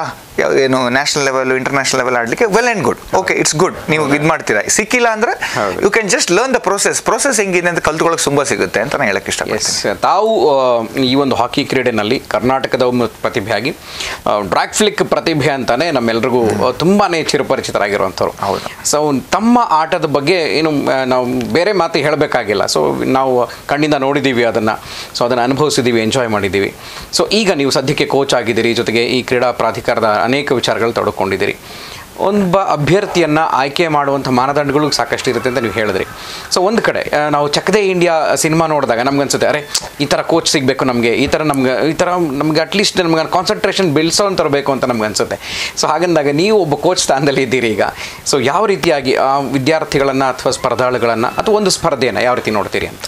ಆ್ಯಕ್ಚುಲಿ ನಾ, ನನ್ನ ಹೇಳಿದ್ರೆ ನಾನು ನಂದು ಆಲ್ಮೋಸ್ಟ್ ನಾನು ಆನ್ ದ ಬುಕ್ಸ್ ಏನಿದೆ ಯೂಸ್ ಮಾಡಲ್ಲ. ನಂದೇನು ಎಕ್ಸ್ಪೀರಿಯನ್ಸ್ ಅಲ್ಲ. ನಂದೇನು ನಂದೇನು ಎಕ್ಸ್ಪೀರಿಯನ್ಸ್ ಇದೆ ಅದರ ಅದಕ್ಕಿಂತ ಒಳ್ಳೆ ನಾಲೆಜ್ ನಿಮ್ಗೇನು ಬೇಡ ಸೊ ನನ್ನ ನಾಲೆಜ್ ನಾಲೆಜಲ್ಲಿ ನಂದು ಏನು ಮಿಸ್ಸಿಂಗ್ ಇತ್ತು ಯಾವ ಕೋಚ್ ಏನು ಮಿಸ್ ಮಾಡಿದ್ರು. ಯಾವ ಥರ ಹುಡುಗನ ಇಂಟ್ರೆಸ್ಟ್ ಸಿಗ್ಲಿಲ್ಲ, ಸಿಗ್ಲಿಲ್ಲ. ಅಂದ್ರೆ ಅವ್ನಿಗೆ ಯಾವ ತರ ಈ ಗೇಮಲ್ಲಿ ಅವ್ನಿಗೆ ಇಂಟ್ರೆಸ್ಟ್ ಇಡೋಣ ಅವ್ನು ಬೆಸ್ಟ್ ಹಂಡ್ರೆಡ್ ಪರ್ಸೆಂಟ್ ಹೇಗೆ ತರೋಣ ಅಂತ ಈ ತರದೆಲ್ಲ ನಾವು ಯೂಸ್ ಮಾಡ್ತೀವಿ ಸೊ ಇದು ಒಂದು ಪ್ರೊಸೆಸ್ ಪ್ರೊಸೆಸ್ ವಿತ್ ಪನಿಷ್ಮೆಂಟ್ ಅದು ಅಂದ್ರೆ. ನೀವು ಐದುವರೆಗೆ ಎದ್ದೇಳ್ಬೇಕು. ಅದು ಅದು ಅದೊಂದು ಬಂದ್ಬಿಡುತ್ತೆ ಅದೊಂದು ರೊಟೀನ್ ಬಂದ್ಬಿಡುತ್ತೆ. ಸೊ ಏನಾಗುತ್ತೆ ಆ ಡೆಡಿಕೇಶನ್ ನಾವು ಕಲಿಸ್ತೀವಿ. ಕಲ್ಸ ಕಲಿಸ್ತೀವಿ. ನೀವು ಎಂತವ್ರನ್ನ ಬೇಕಾದ್ರೆ ಕಲಿಸಿ. ಎಂತವ್ರನ್ನ ಬೇಕಾದ್ರೆ ಕಳಿಸಿ ನಮ್ಮ ಆರು. ತಿಂಗಳಲ್ಲಿ ಅವ್ರು ಯಾವ ತರ ಮೋಲ್ಡ್ ಮಾಡ್ತೀವಿ ಅಂದ್ರೆ ನಾವು. ಅವರೇ ಮನೆಗೆ ಹೋಗ್ಲಿಕ್ಕೆ ಇಷ್ಟಪಡಲ್ಲ. ಸೊ ನಮ್ದೊಂದು ನಮ್ದೇ ಒಂದು ರೀತಿ ಪ್ರೊಸೆಸ್ ಇದೆ. ಆ ಪ್ರೊಸೆಸ್ ಅಲ್ಲಿ ಸ್ಟಿಕ್ ಆನ್ ಆಗ್ತೀವಿ. ಅವ್ರಿಗೆ ಅರ್ಥ ಮಾಡಿಸ್ತೀವಿ. ಸೊ ಲೋಡ್ ಏನ್ ಬಂದಂಗೆ ನೀನು ಏನು ಹತ್ತು ಕಿಲೋಮೀಟರ್ ಹೋಗ್ಬಿಡಿ ಆ ತರ ಕೊಡಲ್ಲ. ಅವ್ರಿಗೆ ಒಂದು ಎಂಜಾಯಿಂಗ್ ಮಾಡಲ್ ಇಡ್ತೀವಿ ಅವತ್ತು ಮಂಡೇ ಟು ಫ್ರೈಡೆ ಟ್ರೈನಿಂಗ್ ಇರುತ್ತೆ ಸ್ಯಾಟರ್ಡೆ ಸಂಡೇ ಬ್ರೇಕ್ ಇರುತ್ತೆ. ಸೊ ಆ ಪ್ರೊಸೆಸ್ನ ನ ಎಂಜಾಯ್ ಮಾಡಬೇಕು. ಒಂದು ಹ್ಯಾಪಿ ಪೇನ್ ಅಂತ ಇರುತ್ತೆ. ಒಂದು ಹ್ಯಾಪಿ ಪೇನ್ ಸ್ಪೋರ್ಟ್ಸ್. ಮ್ಯಾನಿಗೆ ಇರುತ್ತೆ. ಅನುಭವಿಸ್ಬೇಕು. ಅದನ್ನ ಅನುಭವಿಸಿ ಆಮೇಲೆ ಅವ್ರಿಗೆ ಒಂದು ಎರಡು ಮೂರು ವರ್ಷ ಆಮೇಲೆ ಅವ್ರಿಗೆ ಡಿಸಿಷನ್ ತಗೊಳಕ್ ಬಿಡ್ತೀವಿ. ನೀವು ತಗೊಳ್ಳಿ ಡಿಸಿಷನ್ ಈಗ ನೀವು ಎಜುಕೇಶನ್ ಹೋಗ್ತಿರೋ ಸ್ಪೋರ್ಟ್ಸ್ ಅಲ್ಲಿ ಹೋಗ್ತಿರೋ ಇಲ್ಲ ನೀವು ನಿಜವಾಗಿ ಸ್ಟೇಟ್ ಲೆವೆಲ್ ಗೊತ್ತಾಗ್ಬಿಡುತ್ತೆ ನೀವು ಒಂದು ಟೂ ಇಯರ್ಸ್ ಬಂದಾಗ ಒಂದು ಹುಡುಗ ಒನ್ ಟು ಟೆನ್ ಬರ್ತಾನ ಅಂತ ಗೊತ್ತಾಗ್ಬಿಡುತ್ತೆ. ಆಟೋಮೆಟಿಕ್ ಗೊತ್ತಾಗ್ಬಿಡುತ್ತೆ. ಸೊ ಅವರಿಗೆ ಪೇರೆಂಟ್ಸ್ ಜೊತೆ ನಾವು ಕೌನ್ಸಿಲಿಂಗ್ ಮಾಡಿ ಅವ್ರಿಗೆ ಆಪರ್ಚುನಿಟಿ ಕೊಡ್ತೀವಿ. ನಿಮ್ಮ ಮಗನ ಆಗ್ತಿರೋ ಇಲ್ಲ ಎಜುಕೇಶನ್ ಕರ್ಕೊಂಡು ಕರ್ಕೊಂಡು ಹೋಗ್ಬೋದು. ಸೊ ಎರಡು ಮೂರು ವರ್ಷ ಸ್ಕ್ರೂಟಿನಿ ಮಾಡುವಾಗ ಅವ್ರಿಗೆ ಕಳ್ಸಿಕೊಡ್ತೀವಿ. ಬಟ್ ಏನಂದ್ರೆ ಈ ಎರಡು ವರ್ಷ ಏನು ಕಲ್ತಿರ್ತಾರಲ್ಲ ಹುಡುಗರು ಅವ್ರು ತುಂಬಾ ಚೆನ್ನಾಗಿ ಮುಂದೆ ಹೋಗ್ತಾರೆ. ಅದು. ಬೆಳಿಗ್ಗೆ ಎದ್ದು ಆ ಬೆಡ್ ಮಾಡಿ ನೀವು ಟ್ರೈನಿಂಗ್ ತುಂಬಾ ಚೆನ್ನಾಗಿ ಮೋಲ್ಡ್ ಆಗಿರುತ್ತೆ. ಅದು ನಿಮ್ಗೆ ಎಲ್ಲೂ ಸಿಗಲ್ಲ. ಆಕ್ಚುಲಿ ಹೇಳ್ಬೇಕಂದ್ರೆ ತುಂಬಾ ಹಾಸ್ಟೆಲ್ಗಳು ಸಿಗಲ್ಲ. ಹೌದು, ನೀವು ಪೇಡ್ ಹಾಸ್ಟೆಲ್ ಎಷ್ಟೋ ನೀವು ಎಷ್ಟು ಲಕ್ಷ ಕೊಟ್ಟು ಪೇ ಮಾಡ್ಬೋದು. ನೀವು ಸ್ಪೋರ್ಟ್ಸ್ ಹಾಸ್ಟೆಲ್ ಏನು ಕಲಿಸ್ತಾರೆ ನೋಡಿ. ಬೆಳಿಗ್ಗೆ ನಿಮ್ಗೆ ಆ ಟೈಮ್ ಮ್ಯಾನೇಜ್ಮೆಂಟ್ ಇರುತ್ತೆ ನೋಡಿ ಅವೆಲ್ಲ ಕಲಿಸ್ತಾರೆ. ಆ ಫಿಟ್ನೆಸ್ ಮ್ಯಾನೇಜ್ಮೆಂಟ್ ಅದು ನೀವು ಪ್ರತಿ ಲೈಫ್ ಗಂಟ ನೀವು ಕ್ಯಾರಿ ಆನ್ ಮಾಡ್ತೀರಾ. ಸೊ ತುಂಬಾ ಕಲಿಯೋಕ್ಕೂ ಸಿಗುತ್ತೆ. ನೀವು ಪ್ಲೇಯರ್ ಆಗಿಲ್ಲ ಅಂದ್ರು ತುಂಬಾ ಕಲ್ತ್ಕೊಂಡು ಹೋಗ್ತಾರೆ. ಆರ್ಮಿ ಸರ್ವಿಸ್ ಇದ್ದಾಗ army service army service plus education. ತುಂಬಾ ಆಕ್ಯುಪೈಡ್ ಇಡ್ತೀವಿ ನಾವು ಹುಡುಗರನ್ನ. ಅವ್ರಿಗೆ ತುಂಬಾ ಡಿಸ್ಟ್ರಾಕ್ಷನ್ ಮಾಡಕ್ಕೆ ನಾವು ಆಪರ್ಚುನಿಟಿ ಕೊಡಲ್ಲ. ಸೊ ಯಾರು ಸರ್ವೈವ್ ಆಗಿ ಈಗ ಹಂಡ್ರೆಡ್ ಅಲ್ಲಿ ಟೆನ್ ಸರ್ವೈವ್ ಆಗಿ ನ್ಯಾಷನಲ್ ಲೆವೆಲ್ ಹೋದ್ರು ಇಟ್ಸ್ ಅ ಗುಡ್ ಪರ್ಸೆಂಟೇಜ್ ಯಾಕಂದ್ರೆ ನಾವು ಇರೋದೇ ಹದಿನೆಂಟು ಪ್ಲೇಯರ್ ಅಲ್ಲಿ. ಎಷ್ಟು ಎಷ್ಟು ಸ್ಟೇಟ್ ಇದೆ ಎಷ್ಟು ಎಷ್ಟು ಮಕ್ಕಳಿಗೆ ಬರ್ತಾರೆ. ಸೊ ಅದರಲ್ಲಿ ನಾವು ಎರಡೆರಡು ಮೂರು ಮೂರು ಮಕ್ಕಳನ್ನ ಪ್ರೊಡ್ಯೂಸ್ ಮಾಡಿ ಕಳಿಸ್ತಾ ಇದ್ರೆ it's a good ratio good achievement ಕೂಡ ಸರ್ ಫಿಟ್ನೆಸ್ ಎಷ್ಟು ಮುಖ್ಯ? ಅಂತ ಹೇಳ್ತೀರಾ? ಒಬ್ಬ ಹಾಕಿ ಪ್ಲೇಯರ್ಗೆ ಹಾಕಿ ಪ್ಲೇಯರ್ ಅಂತ ಹೇಳಲ್ಲ ನಾನು. ಫಿಟ್ನೆಸ್ ಎಲ್ಲ ಗೇಮಲ್ಲೂ ಮುಖ್ಯ. ಓಕೆ ಓಕೆ ಹಾಕಿ ಪ್ಲೇಯರ್ ಜಾಸ್ತಿ ಜಾಸ್ತಿ ಬೇಕು. ಯಾಕಂದ್ರೆ fit hockey is only game ಎಲ್ಲ ಪಾರ್ಟ್ಸ್ ಕೆಲಸ ಮಾಡುತ್ತೆ. ಹೌದು. ಒಬ್ಬ ಅಥ್ಲೀಟು ಆಗಿರಬೇಕು. ಅಲ್ಲ ಅಂದ್ರೆ ಕೈ ಎಲ್ಲ ಬಾಡಿ ಎಲ್ಲ ಪಾರ್ಟ್ ಕೆಲಸ ಮಾಡುತ್ತೆ ಹಾಕಿಲಿ ಫುಟ್ಬಾಲ್ ಕೈ ಕೆಲಸ ಮಾಡಲ್ಲ. ಕೈ ಸುಮ್ಮನೆ ಇರುತ್ತೆ ನಮ್ಮ ಹಾಕಿ ಕೈಯೂ ಕೆಲಸ ಮಾಡುತ್ತೆ ತಲೆನೂ ಕೆಲಸ ಮಾಡುತ್ತೆ ಕಾಲು ಕಾಲು ಕೆಲಸ ಮಾಡುತ್ತೆ. ಎಲ್ಲ ಕೆಲಸ ಮಾಡುತ್ತೆ. ಸೊ ಕೋಆರ್ಡಿನೇಷನ್ ಆ ಫ್ರಾಕ್ಷನ್ ಆಫ್ ಸೆಕೆಂಡ್ಸ್ ಅಲ್ಲಿ ಡಿಸಿಷನ್ ಮೇಕಿಂಗ್. ಇವೆಲ್ಲ ತುಂಬಾ ಈ- ತುಂಬಾ ಕಷ್ಟ ಆಗುತ್ತೆ. ಅದು ಕಲಿಬೇಕಾಗುತ್ತೆ ಪ್ರೋಸೆಸ್ ಅಲ್ಲಿ. ಸೊ ನೀವು ಡೇ ಒನ್ ಇಂದ ಒಂದ್ಸಲಿ ಸ್ಪೋರ್ಟ್ಸ್ ಹಾಸ್ಟೆಲ್ ಇಲ್ಲ ಯಾವ್ದಾದ್ರು ಅಥ್ಲೆಟ್ ಯಾವ್ದಾದ್ರು ಸ್ಪೋರ್ಟ್ಸ್ ತಕೊಂಡ್ರೆ ನಿಮ್ಮ ನಿಮ್ಮ ಬಾಡಿ ಮೇಲೆ ನೀವು ಇನ್ವೆಸ್ಟ್ ಮಾಡಬೇಕು. ನಿಮ್ಮ ನಿಮ್ಮ ರೆಸ್ಟ್ ಮೇಲೆ ಇನ್ವೆಸ್ಟ್ ಮಾಡಬೇಕು. ನಿಮ್ಮ ಮೈಂಡ್ ಮೇಲೆ ಇನ್ವೆಸ್ಟ್ ಮಾಡಬೇಕು. ಎಷ್ಟು ಟೈಮ್ ನಿಮಗೆ ಇನ್ವೆಸ್ಟ್ ಮಾಡ್ತೀರಾ ಅಷ್ಟು ಒಳ್ಳೆ ಪ್ರಾಡಕ್ಟ್ ಆಗಿ ನೀವು ಹೊರಗೆ ಬರ್ತೀರಾ. ಸೊ ಡೆಡಿಕೇಶನ್ ಟೈಮ್ ಅದಕ್ಕೆ ಬೇಕು. ಸೊ ಇವೆಲ್ಲ ಒಂದು ಇದರಲ್ಲಿ ಇಟ್ಕೊಂಡ್ರೇನೆ ನೀವು ಒಂದು ಒಳ್ಳೆ ಪ್ರಾಡಕ್ಟ್ ಆಗಿ ಹೊರಗೆ ಬರಕ್ಕಾಗದು. ಹನ್ನೆರಡು ಗಂಟೆ ಮಲ್ಗ್ಬಿಡ್ತೀನಿ ಐದು ಗಂಟೆಗೆ ಎದ್ಬಿಡ್ತೀನಿ ಆಗ ಏನೋ ಮ್ಯಾಜಿಕ್ ಮಾಡ್ಬಿಡ್ತೀನಿ. ಇಲ್ಲ ಆಗಲ್ಲ ಗೊತ್ತಾಗ್ಬಿಡುತ್ತೆ. ಬೆಳಿಗ್ಗೆ ನಾವು ಒಂದು ಒಂದು ಅರ್ಧ ಗಂಟೆಲಿ ಗೊತ್ತಾಗ್ಬಿಡ್ತೀವಿ ಈ ಹುಡುಗ ಮಲಗಿಲ್ಲ ಅಂತ. ಫೋನ್ ಅಲ್ಲಿ ಇದ್ದ ಜಾಸ್ತಿ ಅಂತ ಗೊತ್ತಾಗ್ಬಿಟ್ಟು ನಾವು ಅಷ್ಟು ಎಕ್ಸ್ಪೀರಿಯನ್ಸ್ ಇದೆ ಕಂಡಿಡಿದ್ ಬಿಡ್ತೀವಿ ಮತ್ತೆ ಈಗ ಟೆಕ್ನಾಲಜಿ ಎಷ್ಟು ಚೆನ್ನಾಗಿ ಬಂದ್ಬಿಟ್ಟಿದೆ. ಎಲ್ಲ ಜಿ ಪಿ ಎಸ್ ಇವಾಗ ಎಲ್ಲ ಟ್ರೈನಿಂಗ್ ಮಾಡಿದ್ವಿ ಎಲ್ಲ ಜಿ ಪಿ ಎಸ್ ಇರುತ್ತೆ. ಎಲ್ಲರ ಗೊತ್ತಾಗ್ಬಿಡುತ್ತೆ. ಎಲ್ಲರ ಇದಕ್ಕೆ ನಾವು ಬೆನ್ನಿಗೆ ಒಂದು ಜಿ ಪಿ ಎಸ್ ತರ ಹಾಕ್ತಿವಿ. ಅದ್ರಲ್ಲಿ ಗೊತ್ತಾಗ್ಬಿಡುತ್ತೆ ಹಾರ್ಟ್ ರೇಟ್ ಎಷ್ಟು ಇದೆ ಹಂಗ್ ಓಡ್ತಿದ್ದಾನೆ ಹೆಂಗ್ ಮುಡ್ತಾನೆ ತೆಗೆದು ಸುಮ್ಮನೆ ಕಂಪ್ಯೂಟರ್ ಕಂಪ್ಯೂಟರ್ಗೆ ಹಾಕ್ರೆ ಆಯ್ತು. ಮಲಗಿದಾನೆ ಮಲಗಿದಾನ ಚೆನ್ನಾಗಿ ಎಲ್ಲ ಗೊತ್ತಾಗ್ಬಿಟ್ಟಿದೆ ಇವಾಗ ಎಷ್ಟು ಎಷ್ಟು ಟೆಕ್ನಾಲಜಿ ಬಂದಿದೆ ಅಂದ್ರೆ ನಮ್ಗೆ ಮಾನಿಟರ್ ಮಾಡಕ್ ತುಂಬಾ ಈಸಿ ಇವಾಗ. ಓಕೆ ಸೊ ಈಗ ಸ್ಪೋರ್ಟ್ಸ್ ಇದರಲ್ಲೂ ಇರೋದ್ರಿಂದ ನೀವು ಕಮಿಟಿಯಲ್ಲಿ ಇರೋದ್ರಿಂದ, ಒಂದು ಕಡೆ ಆಡಳಿತ, ಮತ್ತೊಂದು ಕಡೆ ನೀವು ಕೋಚಿಂಗು ಮ್ಯಾನೇಜ್ ಮಾಡ್ಕೊಳ್ಳೋವಂಥದ್ದು ಸ್ವಲ್ಪ ಕಷ್ಟ ಆಗ್ತಿದೆಯಾ? ಅಥವಾ ಹಿಂಗೆ ಎರಡೂ ಹೆಂಗೆ ಬ್ಯಾಲೆನ್ಸ್ ಮಾಡ್ತೀರಿ ಅಂತ? ಇಲ್ಲ ಚಾಲೆಂಜಿಂಗು ಮಜಾ ಬರುತ್ತೆ ಆಕ್ಚುಲಿ ಓಕೆ ಯಾಕಂದ್ರೆ ನಾವು ಸ್ಪೋರ್ಟ್ಸ್ ಮ್ಯಾನ್ ಎಲ್ಲವನ್ನೂ ಸ್ಪೋರ್ಟಿವ್ ಆಗಿ ತೆಗೆದುಕೊಳ್ಬೇಕು. ನೀವು ಅಲ್ಲ ನಾವು ಸ್ಪೋರ್ಟ್ಸ್. ಮ್ಯಾನ್ ಆಗಿ ಏನು ನೋಡಿರ್ತೀವಿ. ಅದರದ್ದು ಉಲ್ಟಾ ಆಕ್ಚುಲಿ ಅಡ್ಮಿನಿಸ್ಟ್ರೇಷನ್ ಲೆವೆಲ್ ಇರುತ್ತೆ. ಸೊ ನಮಗೇನು ಗೊತ್ತಿರಲ್ಲ ಆಕ್ಚುಲಿ ಆಫ್ ದ ಫೀಲ್ಡ್ ಏನಾಗುತ್ತೆ ಒಂದು ಟೀಮು ಒಂದು ಪ್ಲೇಯರು ಒಂದು ಆರ್ಗನೈಸೇಷನ್ ರೆಡಿ ಮಾಡೋಕ್ಕೆ ಎಷ್ಟು ಕಷ್ಟ ಇರುತ್ತೆ ಎಷ್ಟು ಡಿಸಿಷನ್ ಮೇಕಿಂಗ್ ಎಷ್ಟು ಮೀಟಿಂಗ್ ಮಾಡಬೇಕು ಅಂತ ನಮ್ಗೆ ಗೊತ್ತಿರಲ್ಲ. ಸೊ ಇವಾಗೆಲ್ಲ ಕಲಿತಾ ಇದೀವಿ ಸ್ಲೋ ಇರುತ್ತೆ ಅದ್ರ ಅವು ತುಂಬಾ ಇರುತ್ತೆ. ಆಕ್ಚುಲಿ ಆಡೋದು ಈಸಿ ಆಕ್ಚುಲಿ ಸ್ಪೋರ್ಟ್ಸ್ ಆಡೋದು ಆಡೋದು. ಅಡ್ಮಿನಿಸ್ಟ್ರೇಷನ್ ತುಂಬಾ ಕಷ್ಟ. ಇವಾಗ ಗೊತ್ತಾಗ್ತಿದೆ ಬಟ್ ಇಟ್ಸ್ ಅ ಚಾಲೆಂಜ್. ನಾವು ಮಕ್ಕಳಿಗೆ ಏನಾರು ಈಗ ನಮ್ಮ ಒಂದು ಐದಾರು ವರ್ಷ ಹತ್ತು ವರ್ಷ ಹಿಂದೆ ಮಕ್ಳಿಗೆ ಬರೋರಿಗೆ ಏನಾರು ಒಂದು ಮಾಡಬೇಕು ಅಂದ್ರೆ ನಮ್ಮಂತ ಸ್ಪೋರ್ಟ್ಸ್ ಮ್ಯಾನ್ ಅವರು ಇನ್ವಾಲ್ವ್ ಆಗಬೇಕು. ಅಷ್ಟೇ. ಇನ್ವಾಲ್ವ್ ಆಗಬೇಕು. ಸಿನಿಮಾ ನೀವು ಹೇಳ್ದಂಗೆ ಸಿನಿಮಾ ನೋಡೋದು ಇದೆ ಸಿನಿಮಾ ತೆಗಿಬೇಕಾದ್ರೆ ಕಷ್ಟ. Hundred percent hundred. ಪರ್ಸೆಂಟ್ ಯಾಕಂದ್ರೆ ಇನ್ವಾಲ್ವ್ ಆಗಿಲ್ಲ ಅಂದ್ರೆ ನಾವು ನಮ್ಮ ಗೇಮ್ಗೆ ಏನು ಕೊಟ್ಟಂಗಾಯ್ತು. ಈಗ ನಮ್ಮ ಈಗ ನಮ್ಮ ರಘುನಾಥ್ಗೆ ಎಲ್ಲ ಕೊಟ್ಟಿದೆ ಹಾಕಿ ಸೊ ಹಾಕಿಗೆ ನಾವು ವಾಪಸ್ ಒಂದು ಇಪ್ಪತ್ತು ಪರ್ಸೆಂಟ್ ಕೊಟ್ಟಿಲ್ಲ ಅಂದ್ರೆ ಇಲ್ಲ ಯಾವುದೇ ಸ್ಪೋರ್ಟ್ಸ್ಗೆ ಕೊಟ್ಟಿಲ್ಲ ಅಂದ್ರೆ ನಮ್ಮ ಎಕ್ಸ್ಪೀರಿಯನ್ಸ್ ನಾವು ಶೇರ್ ಮಾಡಿಲ್ಲ ನಮ್ಮ ಎಕ್ಸ್ಪರ್ಟೈಸ್ನ ಯೂಸ್ ಮಾಡಿಲ್ಲ ಅಂದ್ರೆ ಮತ್ತೆ ಇಷ್ಟು ವರ್ಷ ಆಡಿ ಎರಡೆರಡು ಒಲಿಂಪಿಕ್ಸ್ ಆಡಿ ಮೆಡಲ್ ಗೆದ್ದು ಏನು ಏನಿದೆ? ಸೊ ಆ ಕಮಿಟಿ ಇರಬೇಕು ನಮ್ಮಂಥವ್ರು. ಬೇರೆಯವರು ಬರಬೇಕು. ಸೊ ಇನ್ವಾಲ್ವ್ಮೆಂಟ್ ಇರಬೇಕು ಅಂತ ಹೇಳಕ್ ಇಷ್ಟಪಡ್ತೀನಿ. ಸರ್ ತಾವು ಏಕಲವ್ಯ ಪ್ರಶಸ್ತಿಯನ್ನು ಕೂಡ ಪಡ್ಕೊಂಡಿದ್ದೀರಿ. ಅಂದರೆ ಕ್ರೀಡಾ ಒಬ್ಬ ಕ್ರೀಡಾಪಟು ಯಾವ ಪ್ರಶಸ್ತಿಯನ್ನು ಎಕ್ಸ್ಪೆಕ್ಟ್ ಮಾಡ್ತಾ ಇರ್ತಾನೆ? ನೀವು ಅರ್ಜುನ ಪ್ರಶಸ್ತಿ ಏಕಲವ್ಯ ಪ್ರಶಸ್ತಿ ಎಲ್ಲವನ್ನು ಪಡ್ಕೊಂಡಿರುವಂಥವ್ರು. ಜೊತೆಗೆ ಕನ್ನಡ ರಾಜ್ಯೋತ್ಸವ ಪ್ರಶಸ್ತಿಯನ್ನು ಕೂಡ ಪಡ್ಕೊಂಡಿರಿ ಅಂದರೆ ಈ ಪ್ರಶಸ್ತಿಗಳು ನಿಮ್ಮನ್ನು ಸುಮ್ಮನೆ ಹಿಂಬಾಲಿಸಿಲ್ಲ. ನಿಮ್ಮ ಶ್ರಮ ನಿಮ್ಮ ಬೆವರಹನಿ ಸೊ ಅದನ್ನು ಬರೋ ಹಾಗೆ ನಿಮ್ಮ ಹತ್ರ ಬರೋ ಹಾಗೆ ಮಾಡಿದೆ. ನಿಮ್ಮಂತೆಯೇ ನಿಮ್ಮನ್ನು, ಯಾಕೆಂದರೆ ನಿಮ್ಮನ್ನು ಒಂದು ಮಿರರ್ ರೀತಿ ರೀತಿ ನೋಡ್ತಾ ಇರ್ತಾರೆ. ಬರುವಂಥ ಮುಂದಿನ ಪೀಳಿಗೆನವ್ರು ನೋಡ್ತಾ ಇರ್ತಾರೆ. ಎಸ್ ನಾನು ಅವ್ರ ಥರ ಆಗಬೇಕು ಅಂತ ಅಂದ್ಕೊಳ್ತಾ ಇರ್ತಾರೆ. ಏನು ಟಿಪ್ಸ್ ಕೊಡ್ತೀರಿ ಅವ್ರಿಗೆ? ಟಿಪ್ಸ್ ಅಂದರೆ ನಾನು ಹೇಳೋದು, ಈಗ ಮಕ್ಕಳಿಗೆ ತುಂಬ ದೊಡ್ಡ ಟಾರ್ಗೆಟ್ ಕೊಡಬಾರ್ದು. ಈಗ ಯಾಕಂದ್ರೆ ಪೇರೆಂಟ್ಸ್ ನಾನು ತುಂಬಾ ಚೆನ್ನಾಗಿ ನಾನು ಪೇರೆಂಟ್ಸ್ ನೋಡ್ತೀನಿ. ಈಗ ಸ್ಪೋರ್ಟ್ಸ್ ಅಂತ ನಾ ಮಾತಾಡಲ್ಲ ಈ ವಿಷಯದಲ್ಲಿ ಟಾರ್ಗೆಟ್ ಅಂತ ಹೇಳಿ. ಜನರಲ್ ಆಗಿ. ಹೇಳೋಣ ಇದರಲ್ಲಿ. ಯಾಕಂದ್ರೆ ಸ್ಪೋರ್ಟ್ಸ್ ಅಂದ್ರೆ ನಾವು ತುಂಬಾ ಪ್ರೊಫೆಷನಲ್ ಹೋಗ್ಬಿಡ್ತೀವಿ. ಅವ್ರಿಗೆ ಚಿಕ್ಕ ಚಿಕ್ಕ ಟಾರ್ಗೆಟ್ಸ್ ಕೊಡಬೇಕು. ಯಾವಾಗ ಒಂದು ಮಕ್ಕಳಿಗೆ ಒಂದು ಹತ್ತು ವರ್ಷ ಹನ್ನೆರಡು ವರ್ಷ ಮಕ್ಕಳಿಗೆ ಒಂದು ಚಿಕ್ಕ ಟಾರ್ಗೆಟ್ ಕೊಡ್ತೀರಾ ಆ ಚಿಕ್ಕ ಟಾರ್ಗೆಟ್ ರೀಚ್ ಆಗ್ತಾರೆ ಫಿಫ್ಟೀನ್ ಇಯರ್ಸ್ ಒಂದು ಚಿಕ್ಕ ಟಾರ್ಗೆಟ್ ಕೊಡಬೇಕು. ಆತರ ಆ ತರ ನಾವು ನಾನು ಏನು ಹೇಳೋದು ಇಷ್ಟಪಡ್ತೀನಿ ಅಂದ್ರೆ ಈಗ ನೀವು ಟೆಂತ್ ಆಗಿಲ್ಲ ನೀವು ಡಿಗ್ರಿ ಐದು ವರ್ಷ ಆದ್ಮೇಲೆ ಅವಳು ಡಾಕ್ಟರ್ ಆಗಬೇಕು ಎಂ ಬಿ ಬಿ ಎಸ್ ಆಗ್ಬೇಕಾ ಎಲ್ಲೂ ಎಲ್ಲಿದೆ ಫೈವ್ ಇಯರ್ಸ್ ಎಲ್ಲಿದೆ ಇದು. ಅವ್ರಿಗೆ ಚಿಕ್ಕ ಟಾರ್ಗೆಟ್ ಕೊಡಿ. ಪ್ರೆಷರ್ ಹಾಕ್ಬೇಡಿ. ಮಕ್ಕಳು ಎಂಜಾಯ್ ಮಾಡಲಿ. ಮೆಂಟಲಿ ಸ್ಟ್ರೆಸ್ ಮೆಂಟಲಿ ಸ್ಟ್ರೆಸ್ ಈಗ ಮೈಂಡ್ ಇವಾಗ ಸ್ಪೋರ್ಟ್ಸ್ ಸ್ಪೋರ್ಟ್ಸ್ ಸೈಕಾಲಜಿಲಿ ನಮ್ದಲ್ಲಿದೆ. ಬಟ್ ಸೈಕಾಲಜಿ ಎಷ್ಟು ಇಂಪಾರ್ಟೆಂಟ್ ಆಗೋಗಿದೆ ಇವಾಗ ಪ್ರೆಸೆಂಟ್ ಮಕ್ಕಳು ಸಿನಾರದಲ್ಲಿ ಏನಂದ್ರೆ. ಇವಾಗ ಅವರು ಏಯ್ತು ನೈನ್ತ್ ಟೆಂತ್ ಪಾಸ್ ಆಗಿರಲ್ಲ ಅವ್ರಿಗೆ ಅಷ್ಟು ಕಷ್ಟ ಆಗ್ಬಿಡ್ತದೆ. ಓ ನಮ್ಮ ಟಾರ್ಗೆಟ್ ನಮ್ಮ ತಂದೆ ಅಲ್ಲಿ ರೀಚ್ ಅನ್ಕೊಂಡ್ಬಿಟ್ಟಿದ್ದಾರೆ, ಏನ್ ಅವ್ರಿಗೆ ಏನು ಪ್ಯಾಷನ್ ಇರುತ್ತೆ.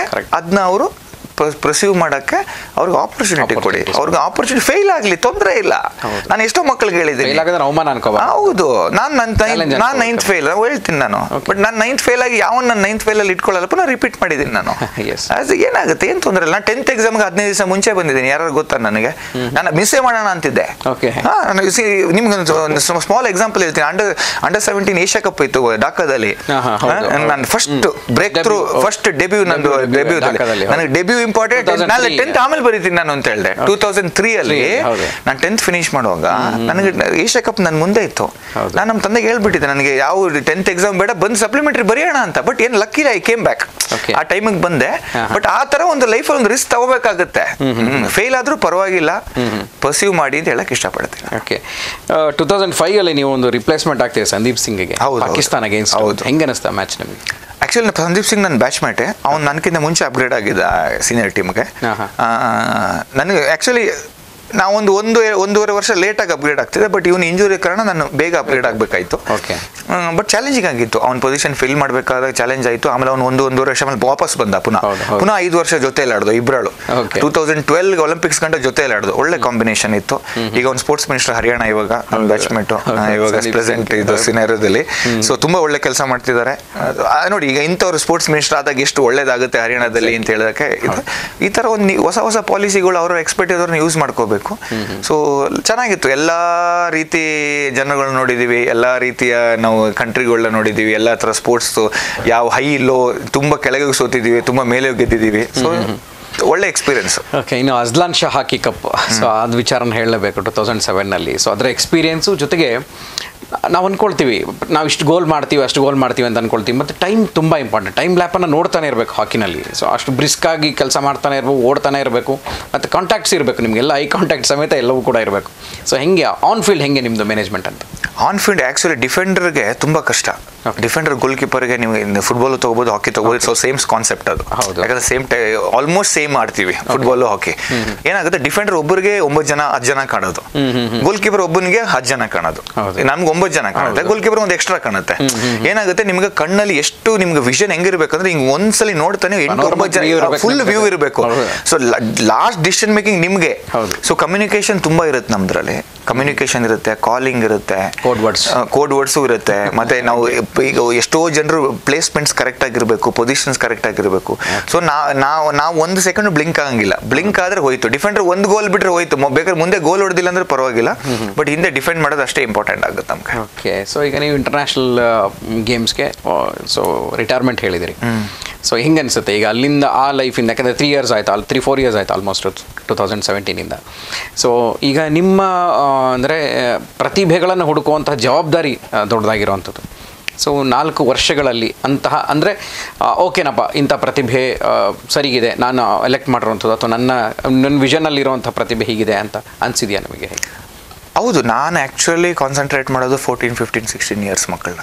ಓಕೆ ನಾನು ಪ್ರತಿಭೆ ಅಲ್ಲಿ ಹುಡುಕಿದ್ರೇನೆ ಆಮೇಲೆ ಅವ್ರು ಅಪ್ಗ್ರೇಡ್ ಆಗೋದು. ಓಕೆ ಸೊ ನಮ್ಮ ಕೆಲಸನೇ ಅದು.